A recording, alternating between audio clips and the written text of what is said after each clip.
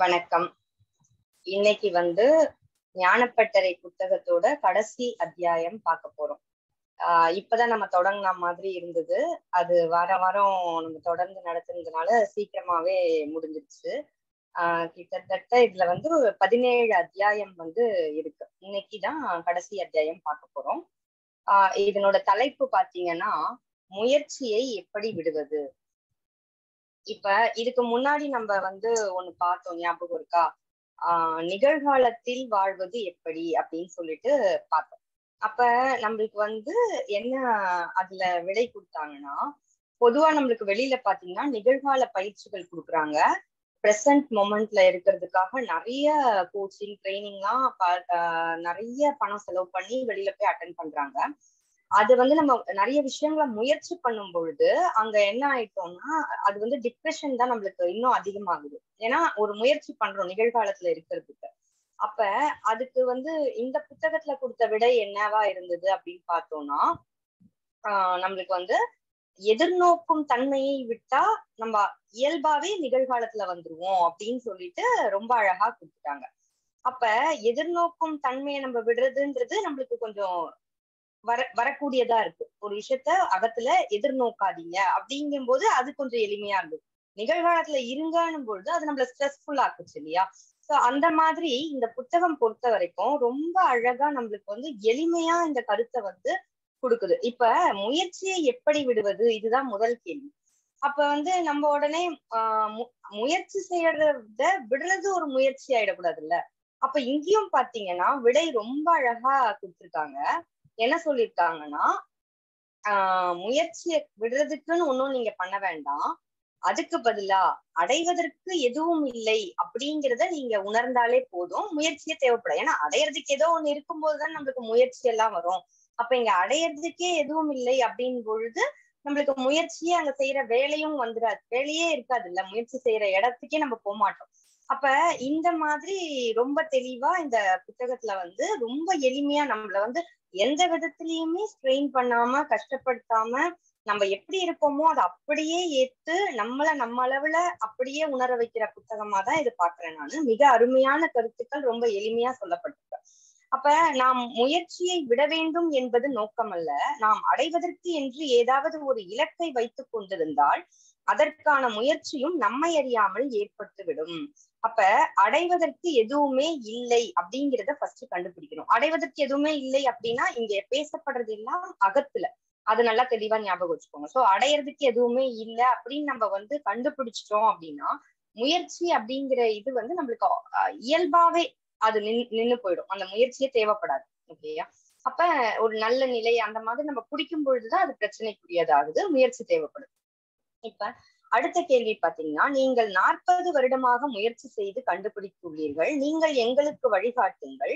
நீங்கள் நாற்பது வருடத்தில் அடைந்ததை நாங்கள் நாலு வருடத்தில் அடையும் வாய்ப்பு கிடைக்கலாம் அப்படின்னு ஒருத்தர் கேட்டிருக்காரு. அப்ப ஆஹ் ஐயா கேட்கிறாரு நீங்கள் எங்கே போவதற்கு வழிகாட்ட சொல்கிறீர்கள்? ஆஹ் அதாவது நீங்க வந்து உங்களுடைய மொழியை ஏதோ ஒரு தன்மையில மாற்றி கொண்டு மாற்றிக்கொண்டு அடையறதுக்கு ஏதோ இருக்கிறதா நீங்க நினைச்சிட்டு இப்ப இந்த கேள்வியை என்கிட்ட கேட்டிருக்கீங்க அப்படின்னு சொல்றாரு. அதாவது இப்ப வந்து பொதுவா வந்து நம்ம மனசு வந்து பாத்தீங்கன்னா எப்பவும் வந்து எதையாவது அடையணும் அப்படின்னு தூண்டிக்கிட்டே இருக்கும்ல நம்மளுக்கு. இப்ப வந்து நீ எதுவும் அடைய வேண்டாம் சும்மா இரு அப்படின்னு அது கிட்ட சொன்னா மனசு வந்து திரும்பி நம்ம கிட்ட கேட்கும். ஆஹ் சும்மா இருக்கிறதுக்கு நான் என்ன செய்யணும் அப்படின்னு கேட்கும். அப்ப நீ வந்து அதுக்கு பதிலா வந்து நம்ம எதையும் செய்யாம எதையும் செய்யாம இருக்கிறது தான் சும்மா இருக்கிறதுன்னு அதுகிட்ட சொல்லணும். சரி எதையும் செய்யாம இருக்கிறதுக்கு நான் என்ன செய்யணும் அப்படின்னு கேட்கும். அப்ப மனதினுடைய தன்மை வந்து இதுதான். நம்ம புரிஞ்சுக்கணும். அப்ப அது திரும்பி திரும்பி எதையாவது முயற்சி செய்யணும் எதையாவது அடையணும் அப்படிங்கிற இடத்துலயே அந்த மனது வந்து எப்பவுமே செயல்பட்டுக்கிட்டே இருக்கும். அதுதான் நம்மளுடைய மொத்த இந்த அகம் சார்ந்த எல்லா பிரச்சனைக்கும் காரணமா இருக்கு. இப்ப நம்மளுடைய மனதினுடைய மொழியே என்ன அப்படின்னு பாத்தீங்கன்னா இப்ப வந்து ஒரு ஒன்னொன்னுத்துக்கும் ஒரு மொழி இருக்குல்ல உடலின் மொழி பசி அப்படின்னு சொல்லுவாங்க. அதனால மனதின் மொழி அப்படின்னு பார்த்தோம்னா எதையாவது அடைய வேண்டும் அப்படின்னு அது சொல்லிக்கிட்டே இருக்கும். அதுதான் மனதினுடைய மொழி. அப்ப அந்த மொழியை நம்ம தெரிஞ்சுக்கிட்டோம்னா அதுக்கு ரெஸ்பாண்ட் பண்ணாம நம்ம விட்டுடலாம் அதே மாதிரி அது தன்னை அறியாமலேயே அடையறதுக்கு ஏதோ ஒண்ணு இருக்கிறதா அது உற்பத்தி செஞ்சுட்டே இருக்குமா உள்ள. சோ அதனோட வேலையே அது மாதிரிதான் இருக்கு இயல்பாவே. அதை நம்ம புரிஞ்சுக்கிட்டா மட்டும் போதும். அப்புறம் வந்து இப்ப அடைவதற்கு அப்படிங்கிற ஒரு இயக்கம் இல்லாம போயிருச்சு அப்படின்னா அந்த நான் அப்படின்னு நம்ம சொல்றோம்ல அந்த விஷயம் வந்து இல்லாம போயிடும். அந்த அம்சமே இல்லாம போயிடும். இப்ப அடை அடைவது இருக்கும் பொழுதுதானே அடைபவன் உருவாகணும். அப்ப அந்த நான் வந்து அடையிறும் போதுதான் உருவாகுது. அப்ப அந்த நான்ற அம்சமே பலமிழந்து போயிடும். அந்த நானே வந்து இருக்காது. அடையறதுக்கு எதுவும் இல்லை அப்படின்னு பொழுது அந்த அடை அடைபவனும் இருக்க மாட்டான். அந்த அதுதான் சொல்ல வராங்க. அப்ப நான் எனும் இட இயக்கமே எப்படி உயிர் வாழுதுன்னு பாத்தீங்கன்னா அடைவதற்கு ஏதோ இருக்கு அப்படிங்கிற எண்ணத்தை வைத்துக் கொண்டுதான் அது உயிர் வாழுது. ஓகேயா அப்ப அது உயிர் வாழ்வதற்காக அடைவதற்கு எதையாவது உற்பத்தி செய்து கொண்டே இருக்குது. அது வந்து ஆஹ் இந்த நிலை வேண்டும் அந்த நிலை வேண்டும். அப்பதானே அந்த அடைபவன் உருவாயிட்டே இருப்பான். அது வந்து அந்த மாதிரி நிலையை அது தற் உற்பத்தி பண்ணிக்கிட்டு இருக்கு. அப்ப அந்த நானே உற்பத்தி ஆகாம இருக்கணும்னா அடைவதற்கு எதுவும் இல்லை அப்படின்னு நம்ம வந்து கண்டுபிடிச்சிட்டோம்னா போதும். அந்த நான் வந்து அங்க புதுசா உருவாகவே ஆகாது. அது மாதிரி எதையும் அடைய வேண்டாம் என்றாலும் அடையாமல் இருப்பதற்கு என்ன செய்ய வேண்டும் அப்படின்னு மனது கேட்கணும் அப்ப இது மனதினுடைய தன்மையே இதுதான் அப்படிங்கறத நம்ம புரிஞ்சுக்கணும். சோ அகத்துல அடையறதுக்கு எதுவுமே இல்லை அப்படிங்கறது நம்ம தெளிவா இங்க உணர்ந்துக்கணும் அப்படிங்கிறது தான் இங்க சொல்ல வரும் தன்னைத்தானே ஏமாற்றி கொள்ளும். இது மாதிரி ஏதாவது ஒண்ணு சொல்லிட்டு அப்பப்ப வந்து ஆஹ் அது ஏமாத்திக்கிட்டே இருக்கும் சோ நம்ம இங்க கண்டுபிடிக்க வேண்டியதே அடைவதற்கு எதுவும் இல்லை அப்படிங்கிறது தான் அப்ப அடைய தகுதியான உயர்ந்த நிலை எதுவும் இல்லையா அப்படின்னு ஒருத்தர் கேக்குறாரு. அப்ப ஆஹ் ஐயா வந்து அதுக்கு பதில் சொல்றாரு. ஆஹ் சென்னையில அவர் சந்திச்ச ஒரு நபர் வந்து என்ன கேள்வி கேட்டிருக்காருன்னா ஆஹ் ஒரு நல்ல நிலை இருக்கிறதா நான் உணர்றேன். என் மனம் வந்து சொல்லிக்கிட்டே இருக்கு. அந்த உயர்ந்த நிலையை அடைஞ்சாதான் அதாவது அந்த உயர்ந்த நிலையை நான் போனேன்னா எப்பவுமே ஒரு உம் நல்ல நிலையில இருந்துகிட்டே இருப்பேன் அப்படின்னு தோணுது எனக்கு. அப்ப வந்து அந்த வித்தியாசமான அனுபவம் வந்து ஒரு வித்தியாசமான அனுபவத்துடன் கூடிய நிலையாக அல்லவா இருக்க வேண்டும். அது ஏதோ ஒரு வித்தியாசமான நிலையாக அல்லவா இருக்க வேண்டும் அப்படின்னு சொல்லிட்டு அதாவது இப்படி ஒரு உயர்ந்த நிலை இருக்குன்னு எல்லாரும் சொல்றாங்கல்ல அப்ப அது கண்டிப்பா ஒரு வித்தியாசமான நிலையா தானே இருக்கணும் அப்படின்னு அவர் கேட்கிறாரு அப்படித்தான் எனது மனது சொல்லிக் கொண்டிருக்கிறது. நான் ஒரு நிலைக்கு வந்து விட்டேன் என்றால் ஒரு உன்னதமான நிலை அந்த பூரணமான நிலை அந்த மாதிரி நான் இருப்பேன் அப்படின்னு வந்து எனக்கு எப்பவுமே உணர்வு இருந்துகிட்டே இருக்கு அப்படின்னு அவர் சொல்லியிருக்காரு. அவர் பாத்தீங்கன்னா ஒரு நல்ல படிச்சு நல்ல தொழில்ல இருக்கிறவர் நிறைய ஆன்மீக அனுபவம் பெற்றிருக்காரு. ஆனாலும் அவருக்குள்ள இந்த கேள்வி வந்து வந்துகிட்டே இருந்திருக்கு. அதுக்கான பதிலாதான் வந்து இங்க என்ன சொல்லப்பட்டிருக்கு அப்படின்னா நம்ம வந்து எப்ப திருப்தி அடையிறோம் பொதுவா?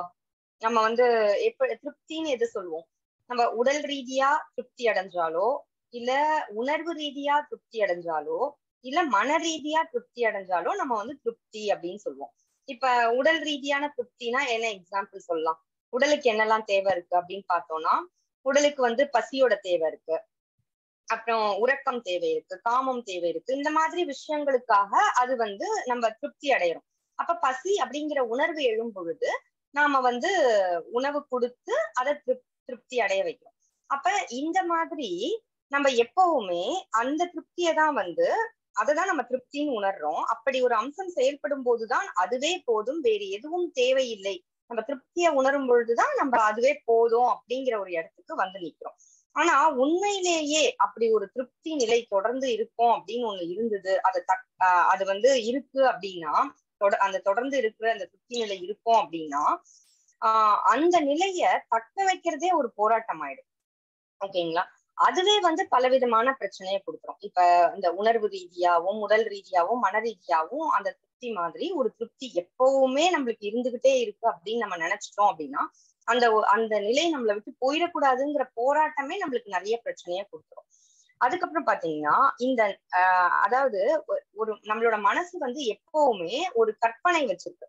ஒரு நிரந்தரமான அனுபவம் எப்பவுமே இருக்கு அப்படிங்கிற கற்பனைய அது எப்பவுமே வச்சிருக்கு. அப்படி ஒரு நிரந்தரமான அனுபவம் இருந்தது அப்படின்னா அது கண்டிப்பா உரைநிலையா தான் இருக்கும்.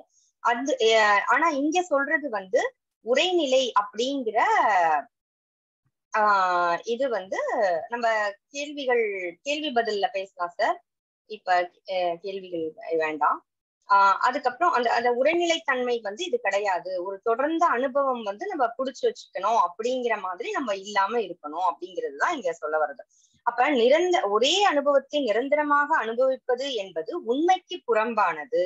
அப்படி ஒரு அனுபவமே கிடையாது. நிரந்தரமா ஒரு அனுபவம் நமக்கு எப்பவுமே இருக்கும்னு நாம நினைச்சிட்டு இருந்தோம் அப்படின்னா அது முற்றிலும் உண்மைக்கு புறம்பானது அப்படிங்கறத மட்டும் நம்ம ஞாபகம் வச்சுக்கணும். சோ அனுபவங்கள் கணம்தோறும் மாறக்கூடியவை அப்படின்னு நம்ம ஞாபகம் வச்சுக்கணும்.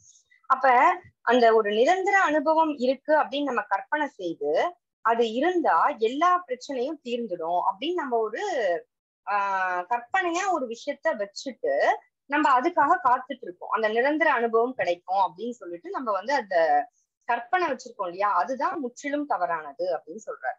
இப்ப நமது உள்ளத்தையும் உடலையும் உணர்வுகளையும் நிரந்தரமாக திருப்திப்படுத்துவது போல் எந்த விதமான அனுபவ நிலையும் கிடையாது. ஆமா இல்ல இப்ப நம்ம வந்து பாத்தீங்கன்னா நம்ம இந்த உடல் உள்ளம் அப்புறம் உணர்வு இதெல்லாம் திருப்தி ஆயிடுச்சு அப்படின்னா நிரந்தரமா திருப்திப்படுத்துற மாதிரி பாத்தீங்கன்னா ஒரு எந்த விதமான அனுபவ நிலையும் கிடையாது. நிரந்தர திருப்தி இருக்கா உடலுக்கு? இப்ப நம்ம உடலுக்கு வந்து தேவை என்னெல்லாம் பார்த்தோம் இல்லையா? உணவு உறக்கம் காமம் இதெல்லாம் தேவையா இருக்கு. இப்ப நம்ம உணவு உட்கொள்றோம். பசின்ற உணர்வு எழுந்துக்குது. அந்த டைம்ல உணவு உட்கொள்றோம். உணவு சாப்பிட்ட உடனே ஒரு திருப்தி கிடைக்குது. அந்த திருப்தி தொடர்ந்து இருக்குமா? அடுத்தது அது செரிச்சு வயிறுல முடிஞ்ச உடனே என்ன ஆகும்? அடுத்த வேலை பசி ஆரம்பிக்கும். அப்ப ஆஹ் இப்படி இயற்கையில நம்ம இப்படிதானே படைக்கப்பட்டிருக்கோம். இப்ப இந்த உடலையே எக்ஸாம்பிளா வச்சு நம்ம இந்த மனசை புரிஞ்சுக்கலாம்ல. இப்ப நான் ஒரு உங்களுக்கு ஐடியாக்காக சொல்றேன் புரிஞ்சுக்கிறதுக்காக. இப்ப நீங்க யோசிச்சு பாருங்க. இன்னைக்கு தூங்குறீங்க. நல்லா தூங்கி நிறைவா நல்லா தூங்கிட்டோம். நல்லா காலையில எழுந்த உடனே அப்பா நல்ல தூக்கம் இன்னைக்கு அப்படின்னு நம்ம வந்து ஒரு ஃபீல் வந்து ஒரு திருப்தி வந்துருது. அந்த திருப்தி தொடர்ந்து இருக்குமா?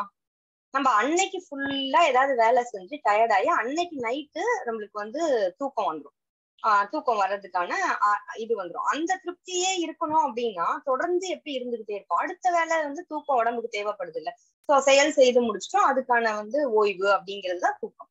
இந்த மாதிரி இந்த உடல் தேவைக்கு இயற்கையில இப்படிதான் படைக்கப்பட்டிருக்கு. அப்ப நிரந்தரமா ஒரு அனுபவம் வந்து அந்த திருப்தி உணர்வு தொடர்ந்து இருக்கணும் அப்படின்னு நம்ம உடலுக்கு சொல்ல முடியாது. அதே மாதிரி உணர்வுக்கும் சொல்ல முடியாது. அதே மாதிரி மன ரீதியாவும் உள்ளத்துக்கும் சொல்ல முடியாது. அப்ப நாம் எதிர்பார்க்கும் அத்தனை தன்மை உடைய நிலைகள் கூட நமது பயிற்சிகள் மூலம் ஏற்படலாம். அப்ப நீங்க வந்து ஒரு நல்ல அனுபவம் வேணும்னா அந்த பயிற்சி எல்லாம் செஞ்சு நம்மளுக்கு ஏற்படலாம். ஆனா அதுவே வந்து பாத்தீங்கன்னா அந்த பயிற்சி எல்லாம் முடிஞ்சதுக்கு அப்புறம் என்ன ஆகும்னா அந்த நிலை வந்து ஒரு குறிப்பிட்ட காலகட்டத்துக்கு இருந்துட்டு போயிடும். இப்ப நீங்க உடலுக்கு கூட சில பேர் வந்து ஹம் இந்த ஐம்புலன்களை அடக்குறது அந்த மாதிரி பயிற்சி எல்லாம் கொடுத்து அந்த ஆஹ் இதெல்லாம் பண்ணுவாங்க இல்லையா ஆன்மீகத்துல. அப்படி நம்ம பண்ணும் பொழுது அதை பிடிச்சு பண்ணும்போது அந்த டைம்ல வந்து நம்மளுக்கு பசியே இல்லாத ஒரு நிலை கூட வரலாம்.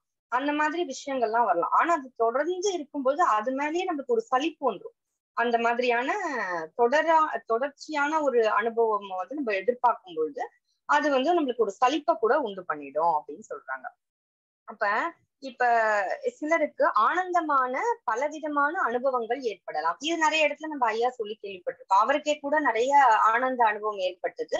ஆனா அந்த ஆனந்த அனுபவம் வந்து பார்க்கும்போது எப்படி இருக்கும்னா உச்சி முதல் பாதம் வரை நல்ல ஒரு ஃபீலை கொடுக்கும். அப்படியே நம்மளுக்கு வந்து இந்த நிலை போதும் நம்ம அடைய வேண்டிய நிலை இதுதான் அப்படிங்கிற இடத்துக்கு நம்மள அதை ஃபீல் பண்ண வச்சிரும். அதுக்கப்புறமா அது ஒரு காலகட்டத்துல ஆஹ் நம்ம உடலாலேயே அதை தாங்கிக்க முடியாத அளவுக்கு பிரச்சனைகளை உண்டு பண்றது அப்படின்றது இப்ப நம்ம ஐயா சொல்றது மட்டும் இல்ல நிறைய நம்ம பார்த்திருக்கோம் நிறைய பேர் வந்து உடல் பிரச்சனைகள் நம்மளே கூட அதை அனுபவிச்சிருக்கோம் அந்த மாதிரியான உடல் பிரச்சனைகள்லாம் வரும் பொழுது நம்மளுக்கு அந்த அனுபவத்தை தக்க வைக்கணும்னு நினைச்சு நம்ம பண்ற பயிற்சிகள் அந்த அனுபவம் தங்கும் பொழுது அது அது மேல வந்து இது எப்ப நம்மளை விட்டு போகும்ன்ற அளவுக்கு ஆயிடுற மாதிரியான விஷயங்கள் தான் நடக்குது. சோ நம்மளோட ஆரோக்கியம் கூட ஆஹ் இதாயிடுது. ஆஹ் ஆஹா அதாவது ஆஹ் அடுத்தது பாத்தீங்கன்னா மெய்யான நிலை மெய்ப்பொருள் அனுபவம் அப்படின்னு நம்ம சொல்றோம் இல்லையா? அப்படி அப்படி நம்ம வந்து எதையாவது எடுத்துக்கும் போது அது நம்மை நாமே ஏமாற்றிக் கொள்வதுதான் அப்படின்னு ஒரு ஞானி சொல்றார். முதன்முறையாக ஒரு ஞானி இப்படி அறிவிக்கிறார். நாம் எதிர்பார்க்கக்கூடிய அனுபவம் கூட ஏற்படலாம். ஆனால் அதை அடைந்த பிறகுதான் தெரியும். ஆஹ் அதாவது நம்ம அந்த நிரந்தரமா இருக்கணும்னு ஒரு அனுபவத்தை எதிர்பார்த்துட்டே இருக்கோம். அதை அடைஞ்சப்புறம் தான் தெரியும். இது வந்து அந்த தகுதியான அனுபவமே கிடையாது அப்படிங்கிறது நம்மளுக்கு அதை அடைஞ்சப்புறம் தான் தெரியும். அப்ப அப்படி ஒரு நிலையை எதிர்பார்த்து கொண்டிருக்கும் வரை நம்மளுடைய தேடல் நிற்காது. தேடுதல் வந்து நிற்கவே நிற்காது. அப்ப தேடுதல் நின்றால்தான் உண்மையில் நாம் எதை அடைய வேண்டுமோ அதை அடைந்ததாகும் அப்படின்னு சொல்றாங்க. இப்ப தேடுதல் நிக்கணும் அப்படின்னா இப்ப வந்து எனக்கு நான் ஒரு எக்ஸாம்பிள் நீங்க சொல்லலாம்னு நினைக்கிறேன். என்னன்னா இப்ப நீங்க வந்து ஒரு மீன் இருக்குன்னு வச்சுக்கோங்களேன் கடல்ல இருக்கு. அது வந்து கடலுக்குள்ள இருந்துட்டு அது வந்து கடலை தேடிக்கிட்டே இருக்கு அப்படின்னு வச்சுக்கோங்க. ஆஹ் ஆனா வந்து கடலை தேடிக்கிட்டு இருக்கும்போது அதுக்கு வந்து அந்த தேடுதல் இருக்கிற வரைக்கும் மத்ததெல்லாம் ரெண்டாம் பட்சம் தான் யாராவது ஏதாவது வந்து சொன்னா கூட அதுக்கு அது அது கவனிக்கவே கவனிக்காது. அதுக்கு வந்து அந்த கடலை தேடுறது மட்டும்தான் அது ஒரு நோக்கமா இருக்கும். அப்ப கடலுக்குள்ளே இருந்து கடலை தேடுறோம் அப்படிங்கிறது அதுக்கு தெரியாது. அந்த மாதிரி ஆஹ் நாம் எதையாவது தேடிக்கொண்டிருந்தால் அதை தவிர மற்ற எல்லாவற்றையும் தள்ளுபடி செய்து விடுவீர்கள். அப்படி நாம் தேடுவதற்கு எதுவும் இல்லாத பட்சத்தில் நாம் தேர்ந்தெடுப்பதற்கு எதுவுமே இல்லாமல் போய்விடும். அப்ப தேடுதல் அப்படின்னு ஒண்ணு நமக்கு தொடர்ந்து இருக்கும் பொழுது நம்மளுக்கு என்ன ஆயிடும்னா அந்த ஆஹ் தேர்ந்தெடுக்கிற ஆப்ஷனும் இருக்கும்ல. அதாவது எதை எதை தேடுறோம்னா ஆஹ் எப்படி சொல்றது? எதை தேடுறோம்னா ஒரு அனுபவத்தை தேடுறோம் நம்ம. அப்ப நம்மளுக்கு இந்த அனுபவம் வேண்டும் இந்த அனுபவம் வேண்டும் தேர்ந்தெடுக்கிறோம். அந்த தேடுதல் இருக்கும்போது தானே இப்ப நம்ம வந்து ஒரு பொருளையும் ஒரு அனுபவத்தையும் தேர்ந்தெடுக்கிற இடமே இருக்கு. அப்ப தேடுதல்னு ஒண்ணு அங்க இல்ல அப்படின்னா நம்மளுக்கு அந்த தேடுதலை முடிச்சிட்டோம் அப்படின்னா நம்மளுக்கு வந்து என்ன வருதோ அந்த அனுபவத்தை அப்படியே ஏத்துக்குவோம். அந்த அனுபவம் கூட நிலையா இருக்காது. அந்த அனுபவமும் கடந்து போயிடும். அது நம்ம விரும்பின அனுபவமா இருந்தாலும் சரி விரும்பாத அனுபவமா இருந்தாலும் சரி எல்லாமே வந்து நம்மளுக்கு ஆஹ் பிடிச்சு வைக்க முடியாது அப்படிங்கறத நம்ம தெரிஞ்சுக்கணும். இப்ப ஆஹ் ஒருத்தர் வந்து கோபப்படுறேன் அப்படின்னு சொல்றாங்கன்னு வச்சுக்கோங்களேன். பொதுவா ஐயா வந்து என்ன சொல்வாரு அப்படின்னா நீங்க வந்து கோபப்படுறது ரொம்ப ஈஸின்னு சொல்றீங்க இல்லையா? சரி தொடர்ந்து இருபத்தி நாலு மணி நேரம் கோவத்துல இருந்து காட்டுங்க. காலையில இருந்து சாயங்காலம் வரைக்கும் கோவத்துல இருந்து காட்டுங்க.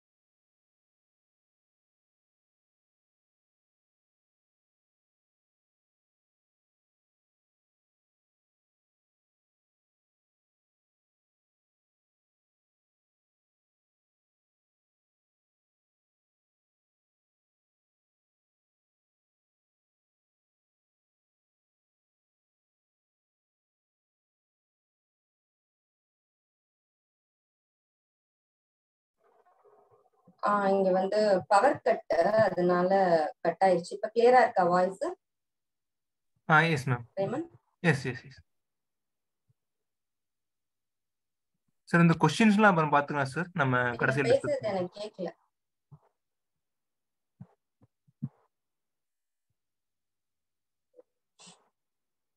ஒரு நிமிஷம்.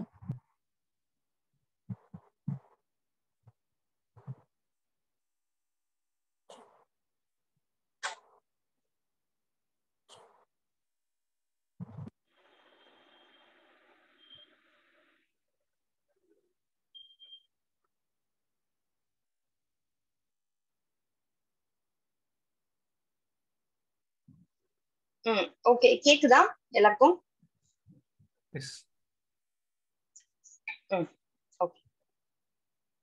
சோ இங்க வந்து முடிவான நிலை அப்படின்னு ஒண்ணு கிடையவே கிடையாது அப்படிங்கறது தான் நம்ம புரிஞ்சுக்கணும். எதுவுமே வந்து ஆஹ் அடைய வேண்டிய முடிவான நிலை என்று ஏதாவது இருந்தால்தான் நாம் தேட முடியும். அதற்காக முயற்சி செய்ய வேண்டும். அடைய வேண்டிய இடம் எதுவுமே கிடையாது என்பதை கண்டுபிடிப்பதுதான் ஞானம். அப்ப வந்து ஒரு மீன் வந்து எப்படி தான் கடலுக்குள்ள இருக்கிறோம் அப்படிங்கிறத உணராம கடலை தேடி அலையுதோ அது மாதிரி நாம இருக்கிற இடத்துல நாம என்னவா இருக்கிறோமோ அந்த அதுதான் ஞானம் அப்படின்னு நம்ம சொன்னா நம்ம வந்து இல்ல. அதாவது இப்போ மீன் கிட்ட வந்து ஆஹ் கடலை வந்து மேல இருந்து பார்த்த ஒரு மீன் வந்து சொல்லுது. ஆஹ் கடல் வந்து ஆஹ் ஜொலிக்கும் அதுல விண்மீன்களும் நிலவும் தெரியும் அப்படின்னு ஒரு வர்ணனை கொடுத்துருக்கு. கொடுத்துட்டு போகுதுன்னு வச்சுக்கோங்களேன். ஆஹ் அதாவது அது துள்ளி குதிக்கும் பொழுது கடலை அப்படி பார்த்து பார்த்துருக்கு. அப்ப இந்த மீன் என்ன பண்ணும்னு வச்சுக்கோங்களேன். ஆஹ் கடல்னா ஆஹ் இந்த மாதிரி ஒரு ஜொலி ஜொலிப்பா இருக்கும் அப்படின்னு ஒரு நிலைய வந்து அது பிடிச்சிக்கும். பிடிச்சிட்டு அதையே தேட ஆரம்பிக்கும். அப்ப அந்த மாதிரி வந்து நம்ம வந்து ஆஹ் அவங்க ஆஹ் நிறைய மகான்கள் அந்த நிலையை அடைஞ்ச உடனே அவர்களுக்குள் நிகழ்ந்த அனுபவங்களை பதிவு பண்ணிட்டு போனதுனால நம்ம அந்த அனுபவங்கள்லாம் நிகழ்ந்தாதான் ஞானம் அப்படின்னு சொல்லி நாம தொடர்ந்து நாம இருக்கிற நிலையை விட்டுட்டு நம்ம தேடுதல்ல இருக்கோம். இது இந்த மீன் எக்ஸாம்பிள் வந்து இப்ப நானா கொடுத்தது இந்த புத்தகத்துல இல்ல. ஆஹ் இது புரிஞ்சுக்கிறதுக்காக சொல்றேன். இந்த வர்ணனை பண்ணும் பொழுது நம்மளுக்கு என்ன ஆயிடுதுன்னா நம்ம வந்து ஒரு இல்லாத விஷயம் நம்ம கிட்ட இல்லாத ஏதோ ஒண்ணு வெளியே இருக்கிறதா நம்ம தேட ஆரம்பிக்கிறோம். அப்ப இங்க நம்ம அழகா ரிலாக்ஸ் ஆயிட்டோம் அப்படின்னா நம்ம கிட்ட இருக்கிறது தான் நம் நம்ம நம்ம என்னவா இருக்குமோ அதுதான் ஆஹ் ஆஹ் உயர்ந்த நிலை அப்படிங்கிற மாதிரி நம்ம புரிஞ்சுக்கிட்டோம் அப்படின்னா நம்ம எல்லா போராட்டங்களையும் கைவிட்டுட்டு நம்மள நம்மளா ஏத்துப்போம்.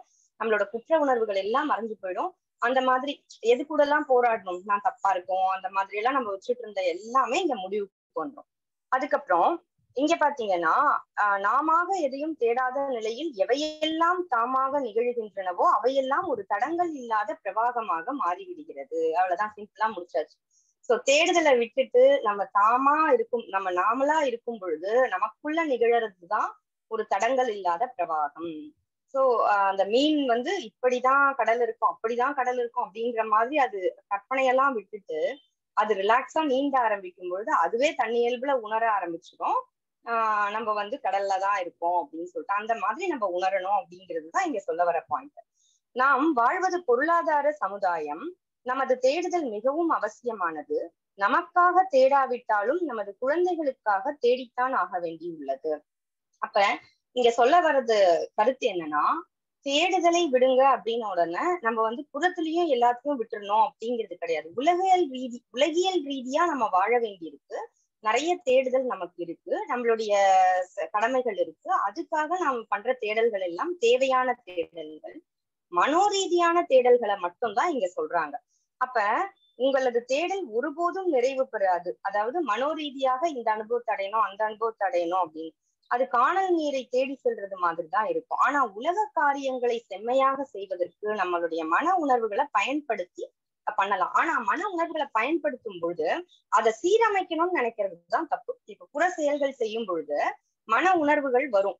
அப்ப அந்த மன உணர்வுகள் வந்த உடனே அதை சீரமைக்கணும் அப்படிங்கிற இடத்துக்கு நம்ம போயிட்டோம் அப்படின்னா ஆஹ் அதை வந்து எப்படி நாமாக அறிந்து மனம் விரும்பி மனோரீதியாக எதையும் தேடக்கூடாது. நம்மை அறியாமல் ஏற்படும் தேடுதல் தாமாக முடிவடைந்து விடும் அப்படின்னு சொல்றாங்க. அப்புறம் புறத் தேவைகளுக்காக முயற்சி செய்யும் போது மனதில் அதற்கான அசைவுகளும் முயற்சிகளும் ஏற்படுவது சாதாரண ஒன்றுதானே? அப்படின்னு சொல்லும் பொழுது ஆஹ் அது இயல்பா நடக்கும். புற தேவைக்காக நம்ம இப்போ ஒரு செயலை செய்யறோம் அப்படின்னா மனம் வந்து அதுக்கேத்த மாதிரி தான் செயல்படும். அப்ப அந்த மாதிரியான விஷயங்கள் அவசியம்தான். அது வந்து தேவையும் கூட. நமக்கு அதெல்லாம் வரல அப்படின்னா நம்மளால புற செயலை செய்யவே முடியாது. இப்ப ஆஹ் அதான் இப்ப கரண்ட் ஆஃப் ஆச்சு. இப்ப வந்து மன உணர்வு மீட்டிங் டிஸ்கனெக்ட் ஆச்சு எனக்கு. நான் வெளியில வந்துட்டேன் லிங்க் விட்டு.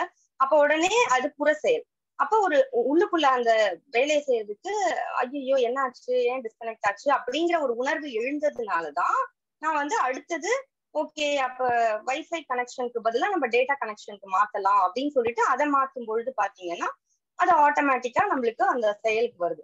இப்ப அந்த அது ஒரு பதட்டம் வரும் இல்லையா?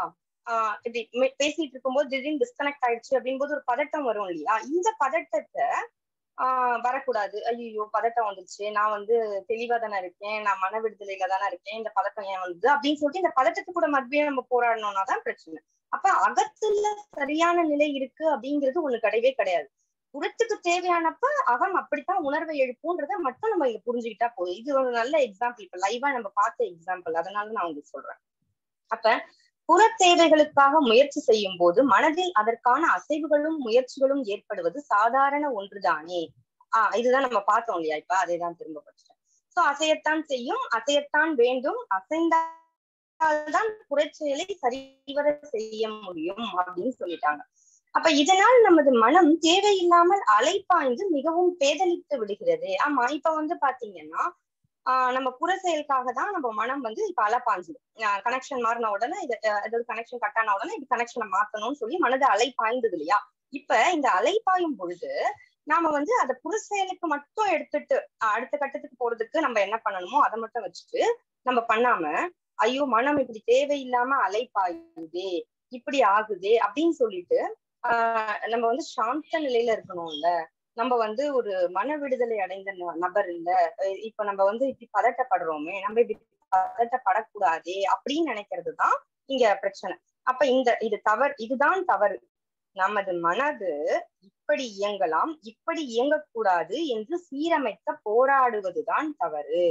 சோ சூழலுக்கேற்ற உணர்வுகளும் அனுபவங்களும் எண்ணங்களும் வரும். அதுதான் இயல்பு. அதை நம்ம ஏத்துக்கும் பொழுதுதான் நம்மளுடைய போராட்டத்தை முடிவுக்கு கொண்டு வரும்போது மட்டும்தான் நம்மளுக்கு இந்த மன விடுதலை சாத்தியமாகும் அப்படின்னு சொல்லி இந்த ஞானப்பட்டறை புத்தகம் அருமையா முடிக்கப்பட்டிருக்கு. சோ இப்ப வந்து நம்ம கேள்விகள் இருந்தா போலாம். ஒரு நிமிஷம்.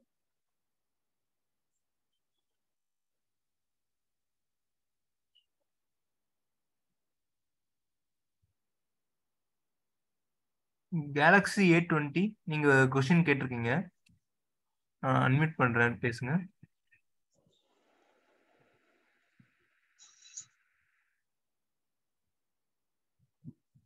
ஆ நீங்க பேசுங்க. ஒரு நிமிஷம். ஜெரால் சாருக்கு அன்மியூட் பண்ணுங்க ஃபர்ஸ்ட் ஸோ ஒன் செகண்ட்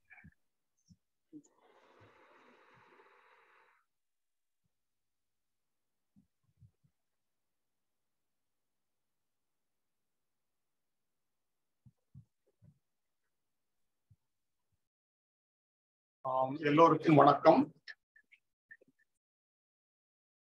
நம்ம வந்து இந்த சிறப்பா ஞானப்பற்றைன்னு சொல்லக்கூடிய அந்த சீரீஸை ஒரு தொய்வு இல்லாம அருமையா நடத்தி முடிச்சிருக்கோம். உங்களுக்கு அந்த சீரீஸ் அதை புக் ஏற்கனவே படிச்சிருந்தவங்களுக்கு கூட இது இன்னும் கொஞ்சம் தெளிவா அதை விளக்கமா வந்ததுனால இது வந்து ஒரு ஆய்வுரைன்னு சொல்லலாம். உங்க கேள்விகளையும் எழுப்புனீங்க. அதே நேரத்தில் அவங்க அதுக்கு பதிலும் சொன்னாங்க. இப்போ இந்த ரெண்டு விஷயம். ஒண்ணு வந்து இந்த இந்த வரிசை இந்த சிறப்புற நடந்தது. இதுக்கு உழைத்த அத்தனை பேருக்கும் முதல்ல நன்றி. முதல்ல இந்த இந்த உரையை சிறப்பா தயாரித்து இதுக்கு ஒரு ஒரு தடவையும் அந்த நேரத்துல வந்து பேசி உங்களுடைய சந்தேகங்களையும் எல்லாவற்றையும் தெளிவுபடுத்திய திருமதி உமா அவர்களுக்கு முதல்ல நன்றியை தெரிவித்துக்கிறோம் ஏன்னா அவங்க வந்து அந்த இது ஒரு ஒரு வினர்ஸ்டையும் கரெக்டா வரணும்னா அது நிச்சயமா வந்து அவங்க சொந்த வேலைகள் எல்லாம் விட்டுவிட்டு அதே நேரத்துல வந்து உங்களுக்காக ஐயாவுடைய கருத்தை பலருக்கும் புரிய வைக்கணும் சொல்றதுக்காக இந்த இந்த பகுதி சிறப்பா எடுத்திருக்காங்க. அவங்களுக்கு முதல் நன்றி செலுத்திக்கிறோம். எங்கள் எல்லா எங்களுடைய சார்பாகவும். அடுத்ததாக வந்து அந்த இது இது டெக்னிக்கலா சிறப்பா நடத்தின இது ரேமன் அவர் கரெக்டாக வந்துருவாரு. நீங்க வர்றதுக்கு முன்னாடியே வந்து அதை ஓப்பன் பண்ணி எல்லா ஸ்பாட் லைட் பண்ணி இதுவும் சிறப்பாக நடத்தினாங்க அவருக்கும் வந்து உங்களாகவே சார்பாக நன்றி தெரிவித்துக்கிறேன் இன்னும் பலர் பின்னால இருந்து இதோட அட்வர்டைஸ்மெண்ட் கொடுத்தது மற்றும் அந்த இது போஸ்டர் கிரியேட் பண்ணது அதை சரியான நேரத்தில் பப்ளிஷ் பண்ணி அதுக்கப்புறம் இந்த பிளேலிஸ்ட் கிரியேட் பண்ணது அப்புறம் யூடியூப் செய்து இப்படி பலர் இதில் ஒத்துழைத்திருக்காங்க. அவங்க எல்லோருக்கும் உங்கள் சார்பான நன்றியை தெரிவிச்சுக்கிறேன் இன்னும் தொடர்ந்து இந்த நூலினை ஒருவன சீரீஸ்ல ஐயாவோட முக்கியமான புக் புத்தகங்களை எடுத்து ஆய்வு செய்ய இருக்கிறோம். இப்ப ஏற்கனவே ஒரு டிமாண்ட் வந்துருக்குது திரு பொன்னுசாமி அவர்கள் வந்து என்ன சொல்லியிருக்காங்கன்னா கவலைகள் அனைத்திற்கும் தீர்வு புத்தகத்தையும் அடுத்த நூலின் ஒரு பகுதியில் விவாதிக்கலாம்னு சொல்லியிருக்காங்க. உங்க கருத்துக்களை கொடுங்க.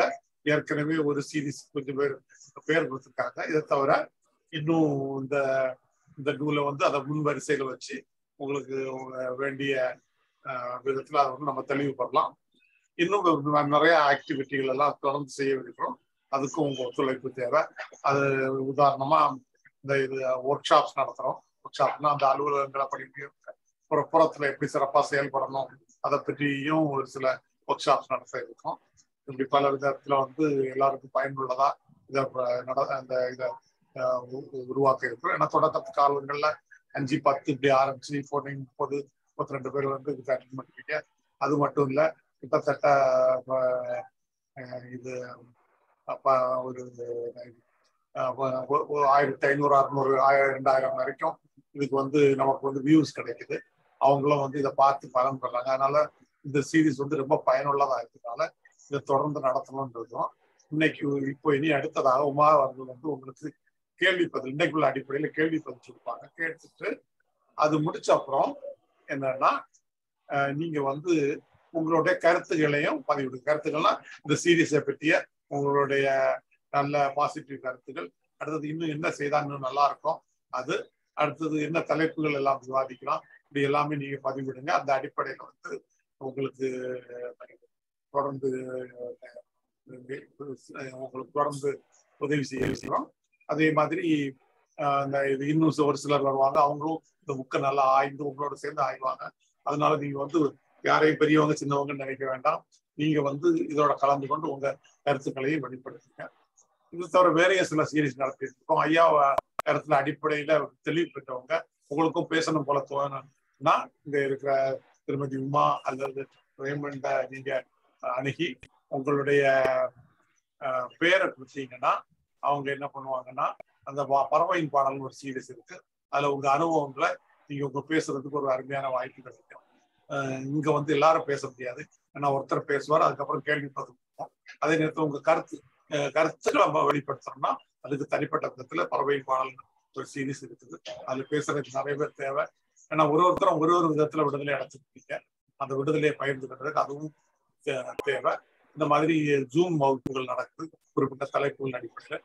இப்படி வாரம் முழுக்க முழுக்க ஆல்மோஸ்ட் எல்லா நாளுமே சில ஆக்டிவிட்டி நடந்துட்டு தான் இருக்குது. அதில் கலந்து முழுமையாக நன்றி உமா அவர்களுக்கு சிறப்பான நன்றி சார் ஜெரல் சாருடைய சப்போர்ட்டும் எங்களுக்கு முழுமையா கிடைச்சது. அதனாலதான் இந்த சீரீஸ் வந்து வெற்றிகரமா நடந்து முடிஞ்சிருக்கு. ரொம்ப நன்றி சார் பர்டிகுலரா ரேமண்ட் இந்த நேரத்துல தேங்க்ஸ் சொல்றேன். அதை விட முக்கியமா ஆடியன்ஸ் நீங்கெல்லாம் தான் வந்து வர வாரம் வந்து கேள்விகள் கேட்டு இதை எப்படி கொண்டு போலான்ட்டு நிறைய ஃபோன் கால் பண்ணி பேசி ஐடியா கொடுத்தீங்க. ஸோ அதுக்கெல்லாம் ரொம்ப நன்றி. ஸோ இப்ப இந்த வாரம் பேசினதுல கேள்விகள் இருந்தா ஹேண்ட் ரைஸ் பண்ணுங்க. இல்ல இந்த புத்தகம் பத்தின மொத்தமா ஒரு கருத்து சொல்றதா இருந்தாலும் நீங்க வந்து ஹேண்ட் ரைஸ் பண்ணலாம். பொன்னுசாமி சார் நீங்க அன்மியூட் பண்ணிட்டு பேசுங்க. ஹலோ கேக்குதுங்க? ஆ கேக்குது சார் சொல்லுங்க. ஆ ரொம்ப நன்றி மேடம். முதல்ல உங்களுக்கு ஒரு நன்றி சொல்லிக்கணும் நானு. ஏன்னா அந்த இப்படி ஒரு நிகழ்ச்சி நடத்துறது ஒரு மிகப்பெரிய விஷயம். ஏன்னா இன்னைக்கு மனித சந்திக்கிற மிகப்பெரிய பிரச்சனையே மனப்பிரச்சனை தான். அதுக்கு நீங்க இந்த மாதிரி ஒரு தீர்வு இது இதை கேட்கும்போது ஒரு ஒரு நெ- நிறைய பேர் நானும் அடைஞ்சிருவாங்க அது ஒரு நம்பிக்கை இருக்கு. அதுலயும் நீங்க வந்து அந்த அந்த சொல்ற விதங்கள் உவமை இதெல்லாம் எளிமையா இருக்கு. அது ஒரு சாதாரண மனுஷன் கூட புரிஞ்சுக்கிற அளவுக்கு எளிமையா இருக்கு. உங்களுக்கு அதுக்கு நான் ஒரு நன்றி சொல்லிக்கணும். நிச்சயமா. ரெண்டாவது மேடம் ரெண்டாவது இப்ப எனக்கு வந்து நிறைய குழப்பங்கள் இருந்தது. இப்ப இத கே- வார வாரம் நான் கேட்டுக்கிட்டே தான் இருக்கேன். இந்த ப்ரோக்ராம்ல கலந்துக்கிட்டு தான் இருக்கேன். வார வாரம் கேள்விகள் கேட்டுக்கிட்டு தான் இருக்கேன். ஒரு சில விளக்கங்கள் தரும்போது அந்த குழப்பங்கள் தீருது. இது வந்து நான் வெறும் வீடியோக்கள் பார்த்தே நான் வந்து ஓரளவுக்கு தெளிவுல இருக்கேன் என்ன கொஞ்சம் நான் ஸ்டடி பண்ணிக்கிற அளவுக்கு கொஞ்சம் தெளிவில் இருக்கேன். அதனால இது இதுக்காக என்னுடைய நன்றியை தெரிவிச்சுக்கணும் உங்களுடைய சேவை இன்னும் தொடரணும். அடுத்தபடியா அந்த கவலைகள் அனைத்திற்கும் தீர்வுங்கிற புத்தகத்தை இந்த நூலின உருவம் பகுதியில நீங்க விவாதிச்சீங்கன்னா ரொம்ப நல்லா இருக்கும் மக்களுக்கு இன்னும் நல்ல ஒரு புரிதலை கொடுக்கும்னு நம்புறேன். ரொம்ப நன்றி மேடம் கண்டிப்பா சார் ஆக்சுவலா வந்து அடுத்தடுத்த ஆசிரியர்கள் வந்து தயாரா இருக்காங்க. நம்மளுக்கு எல்லா விதத்திலயும் எல்லா புத்தகமும் பார்க்கலாம். நீங்க சொல்றதையும் நாங்க கன்சிடர் பண்றோம். அதுக்கு ஏத்த மாதிரி நாங்க பிளான் பண்றோம். தேங்க்யூ சார் நன்றி. ஓகே மேடம் ஓகே ஓகே ரொம்ப நன்றி ரொம்ப நன்றி. நன்றி.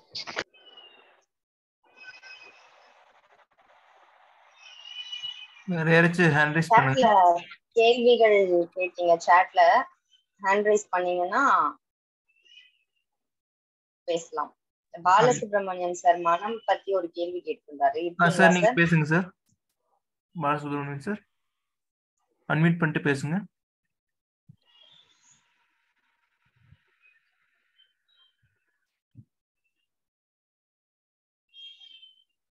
சரி ஜெயன் பாபு சார் அன்மியூட் பண்ணுங்க. ஓகே. சார் நீங்க பேசுங்க சார் ஜெயன் பாபு சார்.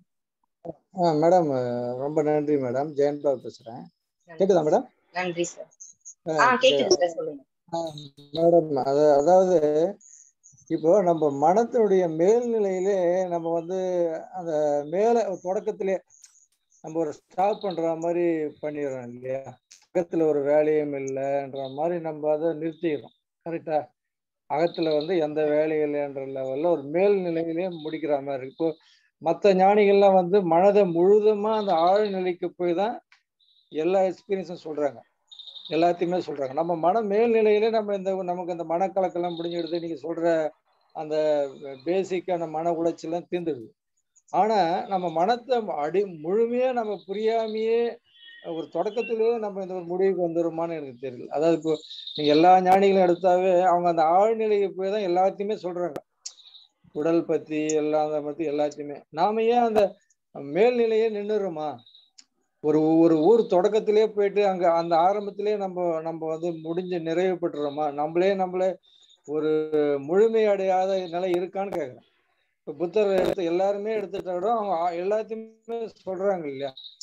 நமக்கு நம்ம சார்பா வந்து அந்த மாதிரியான எக்ஸ்பீரியன்ஸ் எல்லாமே நம்ம மேல்நிலையே நம்மள முடிச்சு அந்த ஊருக்கு போகாமே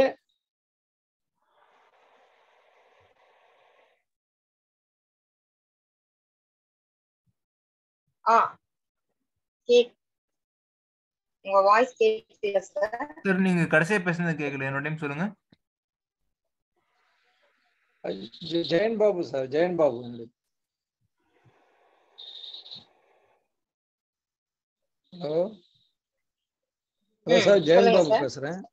சார் நீங்க கடைசியா கேட்கல அதை மட்டும் கொஞ்சம் சொல்லுங்க. கடைசியா கடைசியா, கேள்வி?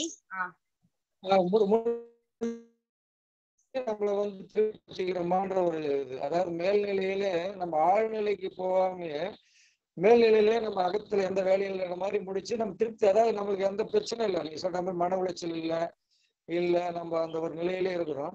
ஆனா மற்ற ஞானிகள்லாம் வந்து அதை ஒரு ஆழ்நிலையில போய் தான் அதை தாண்டி போய் தான் ஒரு நிலைக்கு வராங்க. நம்மளது வந்து தொடக்கத்திலேயே நம்ம அடையாமே நம்ம நம்ம சொல்லிக்கிறோமான்னு கேக்குறேன். சரிங்க சார். இப்ப வந்து ஆஹ் நம்ம சொன்ன மாதிரி இப்ப ஐயாவுடைய கருத்துப்படி நம்ம பார்த்தோம்னா நமக்கான போராட்டங்கள் எல்லாத்தையும் நம்ம முடிவுக்கு கொண்டு வந்துடுறோம். நம்ம வந்து ஒரு ஏற்றுக்கொள்ளுதல் அந்த இதுக்கு போயிடுறோம். அப்படி போகும்பொழுது நம்மளுக்கு வந்து ஒரு தெளிவு கிடைக்குது. இந்த தெளிவு தான் ஞானமா அப்படின்னு நம்மளுக்கு சந்தேகம் வருது. இல்லையா? மன தெளிவு அப்படிங்கிறது இதுதான் ஞானமா அப்படின்னு சொல்லி சந்தேகம் வருது. ஆனா ஆஹ் இப்ப இ- இந்த அதுதான் நான் நிறைய செஷன்ல சொன்ன மாதிரி போராட்டங்கள் முற்றிலுமாக முடிவு பெற்ற நிலையில் தேடுவதற்கு எதுவுமே இல்லை அப்படின்னு உணர்ந்த நொடியில் பகவத் ஐயாவுக்கு ஞானம் மலர்ந்தது அதைத்தான் அவர் நம்மளுக்கு கற்பிக்கிறார். ஓகேங்களா? அப்படி பண்ணும் பொழுது இப்ப அந்த ஞானம் மலர்ந்ததுக்கு அப்புறமா வரக்கூடிய நிகழ்வுகளை தான் வந்து எல்லா ஞானிகளும் பதிவு பண்ணிட்டு போயிருக்காங்க.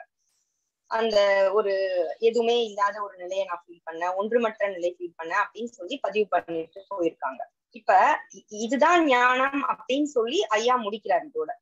இதுக்கப்புறம் உங்களுக்கு இன்னும் ஆழ்நிலையில இருக்குது அப்படின்னு ஃபீல் பண்ணீங்கன்னா அது வந்து உங்களுடைய சொந்த அனுபவத்தால நீங்க தேடுங்க. அப்படி நீங்க முயற்சி செய்து அதை அடை அடைந்தீங்க அப்படின்னா அது நல்ல சிறப்பான விஷயம்தான். இங்க வந்து தடுக்கல யாருமே நம்மள. இந்த கருத்தை வந்து இது இவ்வளவுதான் அப்படின்னு சொல்றாங்க. அத கட- நம்ம கடல்ல தான் இருக்க மீன் கிட்ட வந்து நீ கடல்ல தான் இருக்க அப்படின்னு சொல்லிட்டு சொல்றாங்க. அந்த மாதிரி நம்ம கிட்ட சொல்லியிருக்காங்க. இது வந்து இல்ல இ- இன்னும் வேற ஏதோ இருக்கு அப்படின்னு நம்ம நினைச்சோம்னா அது தனி மனிதனுடைய தே தேடுதல். ஓகேயா அப்படி இருக்குன்னு நீங்க நினைச்சீங்கன்னா நம்ம அதை நோக்கின பயணத்தை நம்ம தொடரலாம் தாராளமா. சரிங்களா சார் ஓகேங்கம்மா ஆஹ் அதுதான். ஏன்னா நம்மளுக்கு சொல்லப்பட்டது இது ஆஹ் நம்ம உணர்ந்தது இது. சோ இது தாண்டின விஷயங்கள் இருக்குது அப்படின்னு நம்ம நினைச்சோம்னா நம்மளுடைய பயணத்தை நம்ம தொடரலாம் தாராளமா. யாருமே நம்மள தடுக்கல.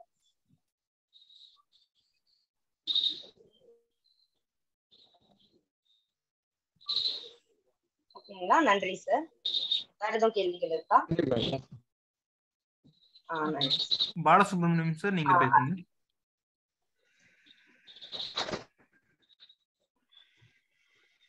சார் அன்மியூட் பண்ணிட்டு பேசுங்க சார்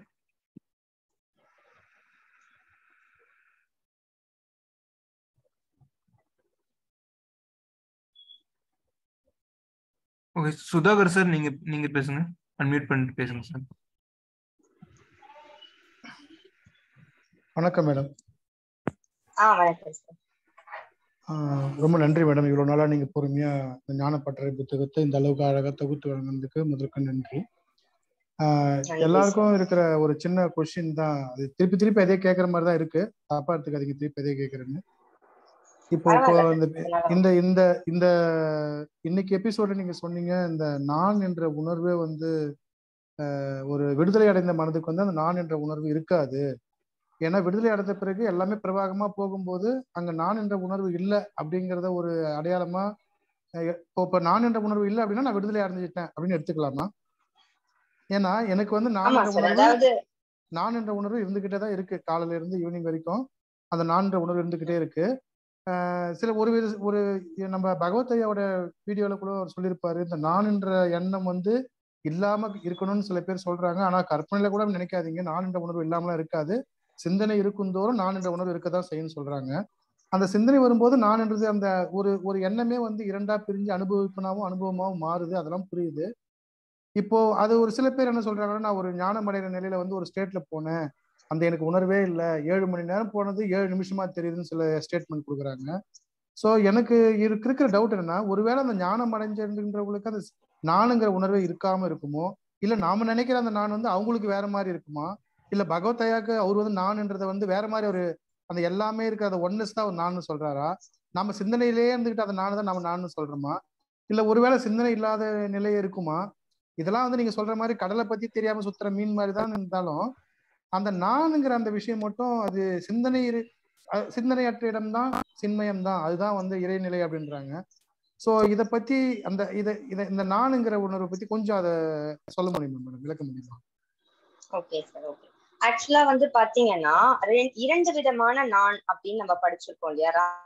ரமணருடைய இதுல வந்து சின்ன நான் பெரிய நான் சொல்லுவாங்க. பகவத். ஐயாவும் அதே தான் சொல்றாரு? என்னன்னா ஆஹ் நம்மளுக்கு கணத்துக்கு கணம் நம்ம ஒரு அனுபவத்தை அனுபவிக்கும் பொழுது ஆஹ் நம்மளுக்கு வர நான் இருக்கு இல்லையா? அதாவது கணத்துக்கு கணம். இப்ப வந்து நீங்க என்ன வந்து புகழறீங்க அப்படின்னா ஒரு இன்பமான நான் அந்த அந்த அனுபவத்துக்கு ஏத்த ஒரு நான் இப்ப நீங்க என்ன திட்டுறீங்க அப்படின்னா ஒரு துன்பமான நான் அந்த அனுபவத்துக்கு ஏத்த ஒரு நான் இது கணத்துக்கு கணம் வரக்கூட நான் அது வந்து நம்ம நான்ற உணர்வுலாம் தேவையில்ல. ஆட்டோமேட்டிக்கா அது வந்துருது. ஏன்னா உள்ள ஒரு அனுபவிக்கிறவன் இருக்கான் இல்லையா? இந்த அனுபவம். இப்ப நீங்க எனக்கு ஒரு அனுபவத்தை கொடுத்துட்டீங்க. என்ன வந்து பாராட்டி ஒரு அனுபவத்தை கொடுத்தீங்க. அதனால அந்த கணத்துல அது எழுது. என்ன திட்டி ஒரு அனுபவத்தை கொடுத்தீங்க. அப்ப அடுத்த கணத்துல அது எழுதுன்னு வச்சுக்கோங்க. இது கணத்துக்கு கணம் தண்ணீர்ல வரக்கூடிய நான்.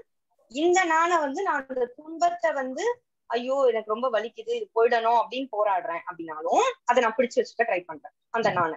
இல்ல எனக்கு ரொம்ப நல்லா இருக்கு எல்லாரும் ப்ரைஸ் பண்றாங்க இது ரொம்ப தொடர்ந்துட்டே இருந்தா நல்லா இருக்கும் அப்படின்னு நான் நினைச்சிட்டே இருந்தாலும் அதையும் பிடிச்சு வைக்கிற தன்மையில நான் போராடுறேன். ஓகேயா? சோ இது இயல்பா வரக்கூடிய நான். ஆஹ் பெரிய நான்னு சொல்லக்கூடிய ரமணர் சொல்ற அந்த நானதான் பகவத்தையா என்ன சொல்றாங்கன்னா கள்ளம் கபடமற்ற குழந்தை தன்மை இப்ப நீங்க அகத்துல எதையுமே புடிச்சு வைக்காத ஒரு பிரவாகமா ஓடிக்கிட்டு இருக்க ஒரு தன்மையில இருந்தீங்க அப்படின்னா இந்த இன்பமும் துன்பமும் கடந்த ஒரு நிலைக்கு நம்ம போயிருவோம் இப்ப இந்த இன் இன்பம் இந்த துன்பம் இதெல்லாம் வந்து பிடிச்சு வைக்கிற தன்மையிலேயே நம்ம இல்ல அப்படின்னா அது அப்படியே கடந்து போயிட்டே தானே இருக்கும். எதுவுமே. அங்க வந்து நம்மள பாதிக்க போறது இல்ல இல்லையா? சோ அந்த கள்ளம் கபடமற்ற தன்மையத்தான் ஆஹ் அந்த நிரந்தரமான நான் ஒண்ணு இருக்கு இல்லையா? அத ஃபீல் பண்றோம் இல்லையா? அதுதான் வந்து போன அத்தியாயம் நீங்க பாத்தீங்கன்னா ஃபுல்லா அதுல வந்து போன அத்தியாயமா அதுக்கு முன்னாடியோ அந்த இதுல வந்திருக்கும். ஆஹ் இந்த கள்ளம் கபடமற்ற தன்மையை பத்தி விளக்கியிருப்பாங்க. சோ அதுதான் வந்து ஒரு அந்த நான் ஒண்ணு நிலையா இருக்கு அப்படின்னு நம்ம நினைச்சோம்னா அதைத்தான் அவர் சொல்றாரு. ஓகேயா சோ எதையுமே பிடித்து வைக்காத தன்மையில இருக்கக்கூடிய அந்த கள்ளம் கபடமற்ற தன்மையை தான் அந்த நான் சொல்றாரு. சோ இங்க வந்து அடைவதற்கு எதுவுமே இல்லை அப்படின்னும் பொழுது அந்த நான் எனும் அம்சம் இல்லாமல் போகிறது அப்படின்னு சொல்றாங்க இல்லையா? அது என்னன்னா நம்ம கணத்துக்கு கணம் வர அந்த அனுபவம் இருக்கு இல்லையா? அந்த அனுபவிக்கிறவன் வரான் இல்லையா? அந்த நானை பத்தி இந்த இந்த அத்தியாயத்தை சொல்லியிருக்காங்க. ஓகேயா சோ இப்ப நீங்க அடையறதுக்கு ஏதாவது ஒண்ணு இருக்கு அப்படிங்கும் போது அந்த நான் வந்து பலம் பெறான். இப்ப இந்த இது உரைய தொகுத்து வழங்குற உடனே இதுல ஒரு டார்கெட் வச்சிருந்தேன். இது இப்படி முடிக்கணும் அப்படி பண்ணணும்ன்ற ஒரு டார்கெட் வச்சு அகத்துல வச்சிருக்கோம் அப்படின்னு வச்சுக்கோங்க. அதுதான் வந்து கணத்துக்கு கணவரன் நான். அப்ப அடையறதுக்கு ஏதோ ஒண்ணு இருக்குன்னு நான் அகத்துல வச்சுட்டேன் அப்படின்னா அது வந்து ஆஹ் இது இருக்கும். இப்ப அடையறதுக்கு அகத்துல ஒண்ணுமே இல்லைன்ற ஒரு இடத்துல நம்ம ரிலாக்ஸ் ஆகும்பொழுது அந்த நான் வந்து மறைஞ்சிடுவோம். அந்த நானுடைய அம்சமே அங்க இருக்காது. சோ இதனால எனக்கு ஒரு இன்பம் இதனால ஒரு துன்பம்னு பிடிச்சு வைக்கும் பொழுதுதான் அந்த நான் வருவோம். அப்ப அந்த அம்சமே இல்லாம போயிடும். அப்ப அடையறதுக்கு எதுவுமே இல்லைன்னும் பொழுது அந்த கணந்தோறும் வர அந்த நானுடைய அம்சம் வந்து இல்லாமல் போகுது அப்படின்னு சொல்ல வரதான் இந்த அத்தியாயத்தை சொல்றேன் ம் சோ இப்ப நம்ம புரிஞ்சுக்க வேண்டியது கணத்துக்கு கணம் வரக்கூடிய நான் வந்து வந்துகிட்டே தான் இருக்கும். நாம இருக்கிற வரைக்கும் அந்த. அனுபவங்கள் நம்மளுக்கு வந்துகிட்டே தான் இருக்கும். அப்படிங்கிறது. இத புரிஞ்சுட்டு இதோட இங்க விட்டுருங்க. அதுக்கப்புறம் வந்து ஆஹ் என்னன்னா இது என்ன சொல்றது இந்த கள்ளம் கவடமற்ற தன்மை எதையுமே பிடித்து வைக்காத தன்மை அடையறதுக்கு ஏதோ இருக்குன்னு இல்ல நினைக்காத தன்மை இந்த மாதிரி நம்ம விடும் பொழுது அகத்துல வந்து எல்லா போராட்டங்களும் முடிவுக்கு வரும் பொழுது ஒரு கள்ளம் கபடமற்ற குழந்தையாக உள்ளத்துல நம்ம மாறிடுறோம் அந்த நான் தான் வந்து பாத்தீங்கன்னா நிலையான நம்ம அந்த கள்ளம் கபடமற்ற தன்மையில இருக்கிற ஒரு நான். ம் சரி கரெக்ட் கரெக்ட் பிரதர் இப்போ அந்த கள்ளம் கவடப்பட்ட தன்மை அப்படின்னு சொல்றதே ஒரு இணை- இடைநிலை மாதிரி தான் நம்ம எடுத்துக்கணும். ஏன்னா இப்போ அதை வந்து அனு அந்த அந்த அனுபவம் வந்து அனுபவம் கூட சொல்ல முடியாது அதை. அந்த விடுதலையான விடுதலை அடைந்த ஒரு நிலைக்கு வந்து நான் போலன்னு வச்சுக்கோங்களேன். இது எனக்கு வந்து கடல் மாதிரி தான். எனக்கு அதை பத்தி தெரியாது. அந்த கள்ளம் கவடப்பட்ட தன்மை நான் ஒன்னும் நான் வந்து அந்த நிலைக்கு நான் போல. நான் ஒரு சராசரி மனத்திலே தான் இயங்கிக்கிட்டு இருக்கேன். அப்ப எனக்கு அந்த சின்ன நான் அப்படிங்கிற விஷயம் தான் என்கிட்ட இருக்கு. அது நல்லா புரியுது எனக்கு. ஸோ நான் கள்ளம் கபடற்ற தன்மை வந்து நான் இப்போ நினைக்க முடியாது. அதை வந்து நான் நினைவாலையோ சிந்தனையாலும் அதை பத்தி பேச முடியாது. நான் அதை பத்தி பேசல. இப்போ என்கிட்ட இந்த நீங்க சொல்ற அந்த சின்ன நான் அப்படிங்கிற அந்த ஒரு விஷயத்துல தான் நான் இயங்கிக்கிட்டு இருக்கேன். தினமும் என்னோட வாழ்க்கையிலன்னு வச்சுக்கோங்களேன். இப்ப நான் இருக்கிற இந்த சின்ன நான் அப்படிங்கிற விஷயம் போனாதான் நான் விடுதலை அடைந்ததற்கான அறிகுறியா?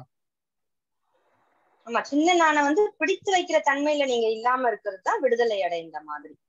மத்தபடி இப்ப சொன்னார்ல ஜெயன் பாபு சார் கேள்வி கேட்டார்ல ஆழமா போகணுமான்ட்டு. அந்த ஆழமா போறது இதுதான் இதுதான்.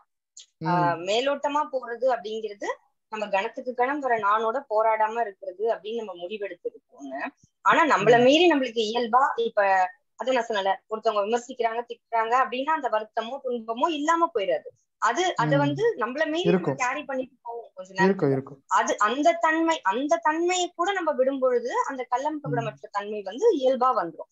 அப்ப அதுதான் வந்து ஆழமா போறது. யோசிச்சு பார்த்தோம்னா. நான் எங்க சிக்கிக்கிறேன் அப்படின்னா சொல்லுங்க. சொல்லு சொல்லுங்க மேடம் சொல்லுங்க மேடம். இல்ல இல்ல நீங்க சொல்லுங்க கரெக்டா நீங்க சொல்ல வந்து நான் எங்க சிக்கிக்கிறேன் அப்படின்னா நான் இந்த நான் இல்லாத நிலையை தான் நம்ம போனாதான் விடுதலை அடைஞ்ச மாதிரி. சோ நான் இந்த நான் இல்லாம ஒரு நான் தூங்கும் போது எழுந்துக்கும் போது ஒரு தியானன்ற நிலையை வந்து இந்த நானை வந்து நான் வந்து எந்த அளவுக்கு இல்லாம அதாவது நம்மளை விட்டு தனியா இருக்கிற மாதிரியோ அப்படிங்கிற மாதிரிலாம் நான் சில நேரத்துல பண்றதே ஒரு அது ஒரு தவறான ஒரு விஷயமா தான் நடக்குதுன்னு நினைக்கிறேன். அது ஒரு போராட்டமா ஆயிடுது இப்ப நான் ஆமா. நீங்க சொல்ற இப்ப- மாதிரி அதை கண்டுக்காம இப்ப- விட்டுறணும். ஆஹ் அதான் இப்ப நீங்க வந்து அத பத்தி எல்லாம் கேரே பண்ணாதீங்க அகத்துல வந்து ஆஹ் நம்ம எதுவுமே போராடக்கூடாது அப்படிங்கிற ஒரு இடத்துக்கு நம்ம போயிட்டு அந்த இன்ப துன்பங்களை பிடிச்சு வைக்கிற அந்த தன்மையில இருந்து முற்று முழுவதுமா விடுபட்டுட்டோம்னா நம்ம வந்து அப்படியே டிரான்ஸ்பர்மேஷன் வந்து ஃபுல்லா இந்த பக்கம் வந்துரும் அப்ப இந்த கள்ளம் கபடமற்ற தன்மை வந்து இப்ப ஞானிகளை பார்க்கும்போதே நம்மளுக்கு தெரிஞ்சிடும் இந்த கள்ளம். கபடமற்ற தன்மையை நம்ம வந்து உணர முடியும் எந்த விதமான அக ஜட்ஜ்மெண்ட் இருக்காது. தனித்தன்மை இயல்பு எதுவுமே பிடிச்சு வச்சு பகவத் இல்லாம ஐயாவை பார்க்கும்போது உணர free முடியுது. flow ல- ஆஹ் ம். அதுதான். பார்க்கும்போது உணர முடியுது. அதுதான் சொல்ல வரேன் உம் அதுதான். அப்படி பார்க்கும்போதே தெரியுது இல்லையா. அந்த இடத்துக்கு போறதுக்கு ரொம்ப சிம்பிளான ஒரு ஃபார்முலாவா தான் இது கொடுக்கப்பட்டிருக்கு. இத வந்து நம்ம ஒரு தனி மனிதனா நம்ம இதை எடுத்து புரிஞ்சு நம்ம செயல்படுத்தும் பொழுதுதான் இது வந்து நமக்கானதா இருக்கும். இது அவர் ஐயாவுடைய கருத்து இது ஓகேயா இது இது வந்து எல்லாருக்கும் பொருந்தணும்னு இல்ல. அது தனி. மனிதன் ப்ராசஸ் பண்ணும்போது அவனுக்கு பொருந்தும் அது அவ்வளவு. இப்போ. ஜெயன் பாபு சார் சொன்ன மாதிரிதான். அவரு அவருதான் இப்ப அவரு அவருடைய பயணத்தை அவர்தான் முடிவு பண்ணணும். கேரி பண்ணி எடுத்துட்டு போகணும். அப்ப. அந்த இடத்துல அவர் வந்து இத புரிஞ்சுட்டு இதோட அதை பண்ணும் பொழுது அது ஆட்டோமேட்டிக்கா அந்த ஜாடிக்கு ஏற்ற மூடியா பொருந்திடும். அவ்வளவுதான். இந்த நானுங்கிறதே சிந்தனையால ஏற்படுறதுனால இது ஒரு இல்லூஷன் தான் இது இது ஒரு மாயை தான்ற மாதிரி எடுத்துக்கலாமா? நானு சின்ன நானு. நீங்க அத அத பத்தி கேரே பண்ண வேணாம் சார் அது வந்து உங்களோட. அனுபவம் இப்ப நான் உங்ககிட்ட பேசிட்டு இருக்கேன் சார் நான் வந்து. திடீர்னு உங்ககிட்ட வந்து திடீர்னு திட்டுறேன்னு வச்சுக்கோங்களேன் ஏ- நீங்க யோசிக்கவே மாட்டீங்க. துன்பம் வருது இல்ல ஆமா. உங்களுக்கு துன்பம் வருது இல்ல அந்த அனுபவம் வருது இல்ல துன்பம் வந்த உடனே அந்த அனுபவம் வருது இல்ல உங்களுக்கு. அந்த அனுபவம் அந்த அனுபவம் எங்க வருதுன்னா அந்த அனுபவிக்கிறவன் வந்துட்டான். அதனாலதான் வருது. நீங்க சிந்தனை இல்லூஷன் அதெல்லாம் யோசிக்கவே வேண்டாம். அது ஆட்டோமேட்டிக்கா அந்த ஸ்பான்டானியஸா நிகழ்ந்துரும் அவ்வளவுதான். சரி அது வந்தா வந்துட்டு போகுதுன்ற மாதிரி? புடிச்சுக்கிட்டு கேரி பண்ணிட்டு போக கூடாது அவ்வளவுதான் ஆமா. அவன் அந்த. நானை பத்தி ரொம்பலாம் நம்ம இது பண்ண போட்டு குழப்பிக்க வேண்டாம் அதை பத்தி. இப்போ கடைசியா மேடம் கடைசியா. கடைசி கேள்வி என்னன்னா இதுல வந்து இந்த நான். டிட்டாச்மெண்ட் அப்படிங்கிறது நானு பொறுத்துதான் இருக்குங்களா? நாம இது நானு விடுறதா டிட்டாச்மெண்ட்னு சொல்றோம்? பற்று இல்லாம இல்ல இருக்கிறது நானே விட்டுருங்க. நானே விட்டுருங்க. நான் ஒருத்தன் வந்து நான் தான் சொன்னேன்ல இப்ப நான் வந்து திடீர்னு உங்களை ஏதோ திட்டுறேன் அப்படின்னா டக்குன்னு உங்களுக்கு ஒரு துன்ப உணர்வு வந்து அந்த. அனுபவிக்கிறவன் டக்குன்னு வந்துடுறான். அது விட்டுருங்க. டிட்டாச்மெண்ட் அப்படின்னா நீங்க வந்து இப்போ ஒரு பொருளோட அட்டாச் ஆயிருக்கீங்க. உங்ககிட்ட ஒரு நல்ல வாட்ச் இருக்கு. அது உங்களுக்கு ரொம்ப. பிடிச்சிச்சு அது மேல ரொம்ப பற்று வச்சிடுறீங்க. திடீர்னு. அந்த பொருள் உங்களை விட்டு போனா நீங்க அந்த பொருளை தேடுவீங்க வெளியே வெளி. செயலா பார்த்தா. திரும்ப வந்து அது கிடைக்கிற இடத்துல இருந்தா முயற்சி செஞ்சு கிடைச்சிடும் கிடைக்காத இடத்துக்கு போயிருச்சுன்னா நம்மளுக்கு என்ன ஆயிடும்னா அகத்துல ஒரு போராட்டம் வரும். அந்த போராட்டம் இருக்கு இல்லையா? அதுதான் கூடாது. ஆக்சுவலா வந்து வேற வழியே இல்ல. நம்மளுக்கு நம்மளோட செயல்கள் எல்லாம் வெளியில போட்டுட்டோம் அது கிடைக்காதுன்னு தெரிஞ்சிருச்சு. அப்ப அந்த பற்று அப்படிங்கிறது பாத்தீங்கன்னா அந்த வாட்ச் வேணும் வேணும் வேணும்னு மனசு போராடிக்கிட்டே இருக்குது அப்ப நம்ம பிரபாகத்துல எதுக்குமே போராடும் போது போராடாத போது அந்த வாட்ச் வந்து போயிடுச்சுன்றத மனசு அக்செப்ட் பண்ணிக்கும்ல முழுமையா. அப்ப. இது வந்து பொருளுக்கும் பொருந்தும் மனிதர்களுக்கும் பொருந்தும். நீங்க இருக்கிற வேற என்னெல்லாம் பற்று வச்சிருக்கீங்களோ அந்த எல்லா பற்றுக்கும் இது பொருந்தும்ல. அகத்துல. போராடலன்னா பற்றுன்னு ஒண்ணு இருக்கவே கிடையாது. வாட்ச்ங்கிற சின்ன இன்சிடென்ட்ல இருந்து உறவுங்கிற பெரிய விஷயம் வரைக்கும் ம். இதானே? அகத்துல போராடல அப்படின்னா அந்த பற்று அப்படிங்கிறது போயிடும்ல. சரிங்க மேடம். ரொம்ப ரொம்ப நன்றி மேடம். ரொம்ப நன்றி. தேங்க்யூ நன்றி சார். நன்றி. அடுத்து. தீபக் சார் நீங்க பேசுங்க. ஹலோ ஆ வணக்கம் சார் சொல்லுங்க. ஆ மேடம் வணக்கம். ஆ, தீபா கிருஷ்ணான்ற பேர்ல பேசுறேன் மேடம். எனக்கு ஒரு சின்ன டவுட்டுங்க மேடம். இப்போ வந்து தாட் திங்கிங்ல வந்து தாட்டுங்கிறது நேச்சரா அது இயல்பா வருது.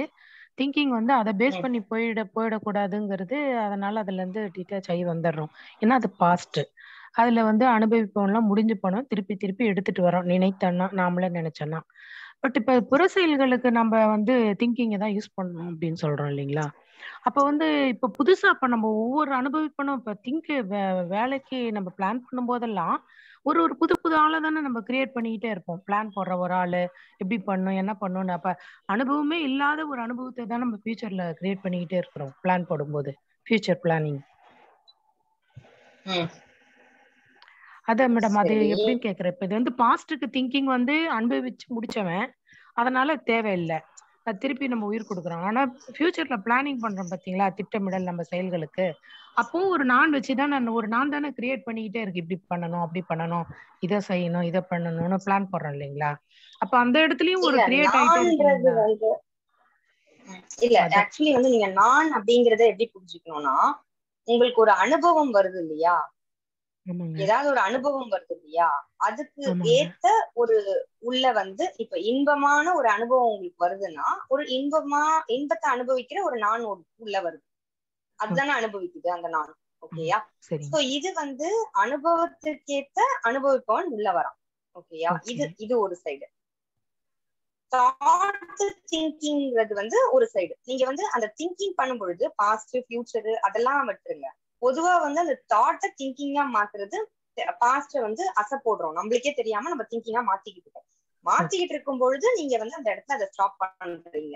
ஐயோ இது தேவையில்லாம நம்ம போய் பாஸ்ட் எதுக்கு இப்ப திங்க் பண்ணிட்டு இருக்கோம்? நம்ம. நினைவுக்கு கான்சியஸா வந்த உடனே நம்ம வந்து இதை வேண்டாம் இது எதுக்கு பண்ணணும் அப்படின்னு விட்டுறோம். அதே மாதிரி ஃபியூச்சரை பத்தி பிளான் வந்து தேவையா இருக்கு. ஒரு மிருகத்துக்கு வந்து ஃபியூச்சர் பிளான் கிடையாது. ஒரு மனுஷன். நம்மளுக்கு ஃபியூச்சர் பிளான் நிறைய இருக்கு. ஏன்னா நம்மளுக்கு தான் அந்த அறிவு இருக்கு. மிருகத்துக்கு அந்த அறிவு கிடையாது. சோ விலங்குகள் வந்து ஃபியூச்சரை பத்தினா சிந்திக்காது. நம்ம சிந்திக்கிறோம். ஏன்னா நம்மளுக்கு வந்து ஆஹ் பத்து வருஷத்துக்கு அப்புறமா இப்ப நம்ம ஒரு பில்டிங் இருக்கு. பத்து வருஷத்துக்கு அப்புறமா இது டேமேஜ் ஆகும். அப்ப அதுக்கேத்த விஷயங்களை நம்ம பண்ணி வைக்கணும். நம்ம குழந்தைங்களுக்கு இந்த பில்டிங்கை ரெடி பண்ணி கொடுக்கறதுக்கு அப்படின்ற ஒரு இடத்துல மனுஷன் தான் அதை சிந்திப்பான். ஓகே. ஓகேயா? சோ அப்ப அந்த இடத்துல இந்த திங்கிங் எல்லாம் நம்ம அந்த ஃபியூச்சரை வந்து ஆஹ் நம்மளுக்கு தேவையான இடத்துல யூஸ் பண்ணணும். ரொம்ப இப்ப வந்து பத்து வருஷத்துக்கு அப்புறம் ஒரு சுனாமி வரப்போகுதுன்னு சொல்றாங்கன்னு வச்சுக்கோங்களேன். கன்ஃபார்மா வருதுன்னு ப்ரெடிக்ட் பண்ணி சொல்றாங்க. அப்படின்னா அதை பத்தி பயந்துகிட்டே இருந்தோம்னா அது ஃபியூச்சர் பிளான் கிடையாதுல்ல. இப்ப இங்க சுனாமி வரப்போகுதுன்னா ஓகே சுனாமி வரப்போதா? அப்ப அதுக்கு நம்ம வந்து என்ன பண்ணணுமோ செயல் நம்ம அதுக்கு பண்ணணும். பத்து. வருஷத்துக்கு அப்புறம் நம்ம அது அந்த சுனாமியால தாக்கப்படாத இடத்துக்கு நம்மளோட இருப்பை அமைச்சுக்கணும். இல்ல அதுக்கேத்த மாதிரி அது அதையும் மீறி அது வருதுன்னா நம்ம ஒண்ணும் பண்ண முடியாது. நம்ம கையில இல்ல. நம்ம கையில இருக்கிறது மட்டும் தான் நம்ம பார்க்க முடியும். அப்ப ஆஹ் இது வந்து. ஆஹ் என்ன சொல்ல வருதுன்னா இந்த தாட் திங்கிங் அப்படிங்கிறது வந்து வேற ட- இதுல பாருங்க. அனுபவத்திற்கேற்ப அனுபவிப்பவன் வந்து அந்த சுதாகர் இவர் சுதாகர் சார் சொல்லும் போது சொன்னதுதான். அந்த நொடியில வந்துருது. இப்ப நம்ம வந்து யோசிக்கவே இல்லை. ஒரு இன்பம் உங்களுக்கு வருதுன்னா டக்குன்னு அந்த அனுபவிப்பவன் உள்ள வந்துடும் அதை என்ஜாய் பண்றோம் அவன் தொடர்ந்து வந்து அது வேணும் வேணும் கேட்டுட்டு இருக்கிறது தான் இங்க பிரச்சனை. அவ்வளவுதான். சோ இது வேற அது வேற.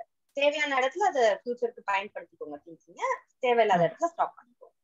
Okay madam clear thank you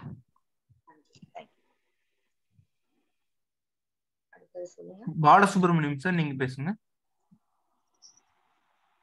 hello ஆ வணக்கம் சார். மனம் பத்தி ஏதோ கேள்வி கேட்டிருந்தீங்க.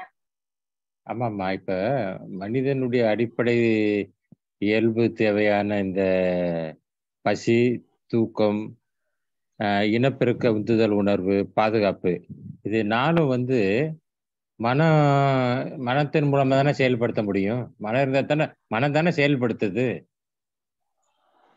ஆமா சார். அப்ப ஆமா கரெக்ட் மனம் இல்ல மனத்தை மனம் இல்லாம எப்படி ம- சில இருக்க முடியாதான் கேக்குறேன். இல்ல மனமே மனம் இருக்குன்னு தானே சொல்றாங்க. பகவத்தையாவுடைய கருத்தே என்ன? மனம் இல்லாம நீங்க செயல்பட முடியாது. மனம் தான் தேவைன்னு தான் சொல்றாங்க. நீங்க ஆன்மீகத்துல பொதுவா எல்லாரும் என்ன சொல்லுவாங்கன்னா மனமற்ற நிலை வேணும்னு சொல்லுவாங்க இல்லையா? அதுக்கு தான் இங்க என்ன சொல்றாங்கன்னா எல்லாத்தையும் செய்யறதுக்கு மனம் தேவை. அதை தேவைக்கு பயன்படுத்துங்க. அது அன்வான்டா ஏதாவது உணர்வை எழுப்பும் பொழுதோ சிந்தனைக்கு போகும் பொழுதோ மட்டும் அதை அப்படியே நீங்க அக்செப்ட் பண்ணி அது கூட போராடாதீங்க. ஏன்னா அதனுடைய தன்மை அப்படிதான் இருக்கு அப்படின்னு சொல்றாங்க. சோ இப்ப உங்களுக்கு பசி எடுக்குதுன்னா நீங்க அப்படியே உங்களுக்கு மனம்னு ஒண்ணு இல்லைன்னா நீங்க போய் எழுந்து போய் யாரு சாப்பாடு எடுத்து போட்டு சாப்பிடுவா? மனம் தானே ஓ தட்டுல போய் சாப்பாடை எடுத்து போட்டு சாப்பிடு அப்படின்னு சொல்லிட்டு அந்த மனம் தானே நம்மள கைட் பண்ணுது. அப்ப நம்மளுடைய மனம் தான் தேவை இங்க. மனம் இருந்தாதான் மனம் செயல்பட்டாதான் புற செயல்களை செய்ய முடியும். ஓகே மேடம் சார் அடுத்து முரளி சார் முரளி சார் பேசுங்க.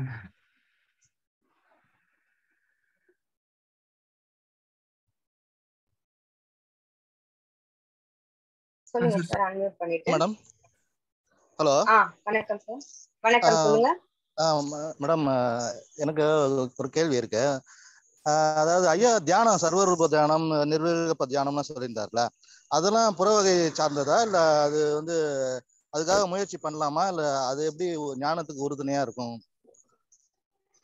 சர்வரூப தியானம் வந்து ஃபுல்லா நம்மளுக்கு இதுதானே சொல்றாங்க. சுத்தி இருக்கிற எல்லாத்தையும் வந்து அப்படியே கான்சியஸா பாக்குறது தானே சொல்றாங்க. அப்படி ஆமா. சவுண்ட்ஸ் கேளுங்க. ஆஹ் இது அது என்ன? அது பொருட்கள் அப்படியே உங்க கண்ணு முன்னாடி என்னெல்லாம் இருக்கோ அதை அப்படியே இது பண்ணு அது வந்து ஒரு அக்செப்டன்ஸ் மோடுக்கு தானே நம்மள கொண்டு போகுது. அதான் அப்ப அது வந்து அந்த தியானம் அந்த பண்றதுக்கு முயற்சி தேவையா மேடம் அதான் நீங்க அது வந்து முயற்சி அதான் முயற்சி இல்ல சார் அது வந்து என்ன பண்றீங்கன்னா அந்த தியானம் சர்வரூப தியானம் பண்ணும் பொழுது அப்படியே இருக்கிறத இருக்கிறபடியா அப்படியே கவனிக்கிறீங்க ஓகேயா சோ அது- வந்து கவனிக்கும் பொழுது அது அது வந்து எந்த ஒரு வெளியில ஒரு பயிற்சின்னு ஒண்ணு செய்யறோம்னாலே அதுக்கான சில முயற்சி தேவைப்படும். அப்ப நம்ம கவனிக்கணுங்கிறது ஒரு விஷயம் தானே ஒரு முயற்சி சின்ன முயற்சியை போடுறோம். போட்டு அதை பண்றோம். அது அக்செப்டன்ஸ் மோடுக்கு அந்த அந்த மோடுக்கு வர்றது போது நம்ம வந்து நம்மளுடைய செயல்களை வந்து எஃபெக்டிவா செய்வோம் அப்படிங்கிறது தான். சோ அது வந்து கட்டாயம் அது வந்து அகத்தை சீரமைக்கிறதுக்கான தியானம் கிடையாது. அது மூலமா நம்மளுடைய புறத்துல தேவையான செயல்களை நம்ம செஞ்சுக்கலாம். இது அந்த அந்த தியானங்கள்லாம் புறத்துக்கு தான் தேவைப்படும் மோடு வந்து நம்மளுக்கு ஆமா அக்செப்டன்ஸ் மோடுக்கு நம்மள கொண்டு வருது. எதையுமே எதிர்த்து போராடாத ஒரு நிலைமைக்கு நம்மள கொண்டு வருது ஓகே மேடம். இது வந்து ஞானத்துக்கும் இதுக்கும் சம்மந்தம் இல்ல. ஆமா இல்ல. அத பகவத்தையாவோட கருத்தை பொறுத்த வரைக்கும் ஞானம் வந்து நீங்க அகத்துல வந்து ஒரு நல்ல நிலை இருக்கு அப்படின்னு போராடாம நீங்க இருக்கிற நிலையை அப்படியே ஏத்துக்கிறது தான் ஞானம்னு அவர் முடிச்சிடுறாரு. ஓகே. மேடம். தேங்க்யூ சொல்லுங்க சார் அடுத்தது. பொன்னுசாமி சார் நீங்க பேசுங்க.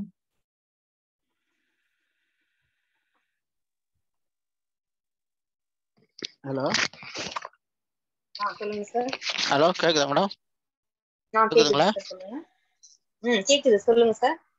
ஆ ஆமா மேடம் எனக்கு ஒரு கேள்வி. இது தாட் அண்ட் திங்கிங்னு சொல்றாங்க. அதுல ஒரு சின்ன சந்தேகம் மேடம். இப்ப தாட்டு எழுப்புறதும் மனம்தான். அதை திங்கிங் ஆக்குறதும் மனம்தான். அப்படின்னா அங்க ரெட்டத்தன்மை வந்துடுதுங்க இல்லையா? இப்ப ஒரு தாட்டு வருது தானா வருது. அதுவும் மனம்தான் எழுப்புது. அதை திங்கிங் ஆக்குறதும் ஆக்கக்கூடாததும் மனம்தான். அங்கேயும் நம்ம ரெட்டத்தன்மைக்கு ஆயிடுறோம்ல மேடம் அது எப்படின்னு ஒன்றும் புரியல. கொஞ்சம் விளக்க முடியுங்களா? அது ரெட்டை தன்மை இல்ல சார் அது ஆக்சுவலி வந்து தாட் நம்மளுக்கு ஒரு தாட் வருது. நிறைய தாட் வந்துகிட்டே இருக்கு உள்ள இருந்து நம்மளுடைய நேச்சருக்கு ஏத்த மாதிரியும் நம்மளுடைய என்விரான்மெண்ட்டுக்கு ஏத்த மாதிரியும் தாட் வந்துகிட்டே இருக்கு. அதை நம்ம திங்க் பண்றோம். அவ்வளவுதான். அப்ப அந்த தாட் தாட் இருக்கும்போது அப்படியே திங்கிங் தொடருது. அது மாதிரி ஒரு மனதினுடைய இயங்கும் தன்மை அது. அது இரட்டை தன்மை கிடையாது. அந்த இயங்கும் தன்மையில இருந்து மனதினுடைய இயங்குற மனம் அது அப்படிதான் இயங்கும். அந்த தன்மையில இருந்து இது இந்த இந்த திங்கிங் வந்து நினைச்ச உடனே வலிக்குது அப்படின்னு நம்ம போராடுறோம்ல அதுதான் வந்து நம்மளுக்கு பிரச்சனை. ஓகேங்களா? அந்த. போராட்டம் தான் இரட்டைத்தன்மை ஓகேயா? மனதினுடைய தன்மை வந்து அது ஒரு ஒரு மனம் தான் இருக்கு ஒரு இயக்கம் தான் இருக்கு. எப்படி நம்மளுக்கு ஒரு உடல் தானே இருக்கு அது மாதிரி ஒரு மனம் தான் அந்த இதுதான் இருக்கு. அதுல இருந்து நம்ம வெளில வந்து போராடும் போதுதான் அது இரட்டைத்தன்மை மனதினுடைய தன்மை தாட்டும் திங்கிங்கும் உணர்வுகளையும் தொடர்ந்து எழுப்பிக்கிட்டே தான் இருக்கும். அட் டைம்ல எல்லா ப்ராசஸும் அது பண்ணிக்கிட்டே இருக்கும். ஓ புரியுது புரியுது மேடம். புரியுது. ஆக வந்து ஒரு மனம் தான். அதை நாம திங்கிங் ஆக்கி போராடும் போதுதான் இரட்டைத்தன்மை வருங்கிறீங்களா? திங்கிங் ஆக்கி இல்ல. திங்கிங்கும் ஒரு மனம் தான். அதுல போராடும் போதுதான் அது இரண்டு மனமா பிரியுது. போராடும் போதுதான் ரெண்டு மனமா பிரியுதுங்களா? ஆமா போராட்டத்தன்மை இல்லைன்னா இயங்கும் மனம் ஒரு மனம் தான் அது துன்பத்தை எழுப்பும் கவலை எழுப்பும் அதே டைம்ல தாட்டை எழுப்பும் திங்கிங் எழுப்பும் எல்லாத்தையும் அட் டைம்ல அது பண்ணிக்கிட்டே இருக்கும். அதோட ப்ராசஸே அதுதான். ஓகே அது ஒரு என்ன சொல்றது ஃபேக்டரி மாதிரி எல்லாத்தையும் போட்டு அரைச்சிட்டே இருக்கும். அது அது அப்படிதான் இருக்கும். அதை புரிஞ்சுட்டு நம்ம வந்து ஆஹ் அக்செப்ட் பண்ணிக்கணும். அவ்வளவுதான். அதை போராடுறதுக்கு இப்படி வெளியில வந்தோம்னா தான் பிரச்சனை. நல்ல நிலை வேணும் நல்ல நிலை வேணும்னு போராடுறோம் இல்லையா? அதுதான் பிரச்சனை. ஓ அது என்ன எப்படி கெட்ட விஷயம் சொன்னாலும் சரி அதை நம்ம அப்படியே விட்டுணுங்களா அது எ- எப்படி என்ன அது தாட் வந்தாலும். ஆமா எது வந்தாலும் நம்ம ஒண்ணுமே பண்ண முடியாது. பிகாஸ் அது அவுட் ஆஃப் கண்ட்ரோல் இல்ல. நம்ம கையில இல்லையே. இப்ப கோவிலுக்கு போகும் பொழுது பக்தி உணர்வோட போகணும்னு தான் எனக்கு விருப்பம். ஆனா உள்ள போன ஆ, ஆமா. உடனே ஆறு மணி ஆயிடுச்சு. தண்ணி அடிக்க இன்னைக்கு ட்ரிங்க்ஸ் பண்ணணும்னு ஒரு எண்ணம் வந்து அது ஒரு குடிகாரருக்கு அந்த எண்ணம் வரும் இல்லையா? ஆறு மணி ஆனா அந்த எண்ணம் வரும். கோவிலுக்குள்ள வந்துருச்சே அப்படின்னு நான் உட்காந்து கதற முடியாது இல்ல ஏன்னா அது வருது தானா? நம்ம சாமி கும்பிட போனோம். சரி கும்பிட்டு வருவோம் அப்படின்னு நினைச்சிட்டு நம்ம அடுத்த வேலையை பார்க்க வேண்டியது அப்ப நம்ம போராட வேண்டியதா போயிடுதுங்களா? என்னடா சாமி கும்பிட வந்தோம். இங்க வந்து இந்த மாதிரி எண்ணம் வருது நமக்கு அப்படிங்கிற எண்ணம் வருதுங்களா? அதுதான் அதுதான் இங்க புரிதல். அதுதான் இங்க புரிதல். மனம்னா அப்படிதான் எழுப்போம். டிசைன் டிசைனா எழுப்போம். அதெல்லாம் இது ஒரு பயிற்சி எல்லாம் கொடுப்பாங்க. நீங்க தோன்ற எண்ணத்தெல்லாம் பேப்பர்ல எழுதுங்கன்ட்டு ஒரு ஆன்மீக பயிற்சி கொடுப்பாங்க. அது எழுதுனா பக்கத்துல இருக்கவங்க பாத்துறாம மறைச்சு மறைச்சு எழுதுவாங்க எல்லாரும். ஏன்னா வந்து ஏன்னா அவ்வளோ எல்லாம் உள்ள வரும். அது வெளில சொல்ல முடியாது நம்ம. அந்த மாதிரி விஷயங்கள்லாம் இருக்கும். அது எல்லாருக்குமே நேச்சர் அது ஒண்ணுமே பண்ண முடியாது. அது வந்து அது அதுதான் அதனுடைய தன்மை. அவ்வளவுதான். அதை புரிஞ்சுக்கிறது தான் இங்க புரிதல். ஓ கரெக்ட் மேடம் கரெக்ட் கரெக்ட் அதான் அதுதான் எனக்கு ஏன்னா நாம ஒரு நல்ல நிலையில அழகா போய் பக்தியோட சாமி கும்பிட போறோம். அங்க போனா கட்ட கட்ட எண்ணமா வருது. நாம வந்திருக்கிறது கோயிலுக்கு. இங்க வந்து இப்படி எல்லாம் வருது நமக்கு. அப்படிங்கும்போது நமக்கு நம்மள நம்மளே என்னப்பா இது இப்படி எல்லாம் கொட்டுதே? அப்படிங்கிற மாதிரி தோணுது அதுக்கு. அதான் ஆ அதுதான் ஓகே அதுதான் நீங்க மேடம் பண்ணுங்க. நன்றி சார். அதை அப்படியே விட்டுடலாம் அது அப்படித்தான் வரும் அப்படின்னு ஏத்துக்கணுங்களா ஆமா ஆமா. ஓகே ஓகே ஓகே ஓகேங்களா madam okay okay okay madam okay okay so இந்த நிகழ்வை சிறப்பா நடத்தி கொடுத்த எல்லாருக்கும் ரொம்ப நன்றி. நம்ம வந்து இந்த நூலினை நுகர்வோம். சீரீஸ் வந்து தொடர்ந்து நடைபெற போகுது நிறைய ஆசிரியர்கள் அவங்க தயாரா இருக்காங்க புத்தக ஆய்வுக்காக. எல்லாரும் தொடர்ந்து அவங்களுக்குலாம் நம்ம தொடர்ந்து அவங்களோட பயணிப்போம். நம்ம இந்த புத்தகம் வந்து எப்பவுமே வந்து பல விஷயங்களை இது பண்ணிருக்கோம் இப்ப நான் வந்து ஆக்சுவலா உங்க எல்லாருக்கும் தான் நன்றி சொல்லணும். ஏன்னா இந்த புத்தகம் வந்து நான் படிச்சது ஒண்ணு. ஓகே படிக்கிறது வேற. இத உங்களுக்கு சொல்லணும் அப்படின்ற போது படிக்கும்போது அது எல்லாத்தையும் அத வந்து புரியுற மாதிரி உங்களுக்கு சொல்லணும் அப்படிங்கிறதுக்காக நான் எடுத்த எஃபர்ட்ல பல எனக்குள்ள இருந்த சந்தேகங்கள்லாம் தீர்ந்திருக்கு. ஸோ எனக்கே எனக்கு வந்து ஒரு தெளிவு கிடைக்கிறதுக்கு நீங்க எல்லாம் எனக்கு வந்து துணை புரிஞ்சிருக்கீங்க. ஸோ உங்க எல்லாருக்குமே ரொம்ப நன்றி. இந்த வாய்ப்பு கொடுத்த பகவத் மிஷன் பகவத் ஐயா Saravanan sir Jiyomani sir Gerald sir ramen எல்லாருக்கும் மிக்க நன்றி. நன்றி. சந்திப்போம்.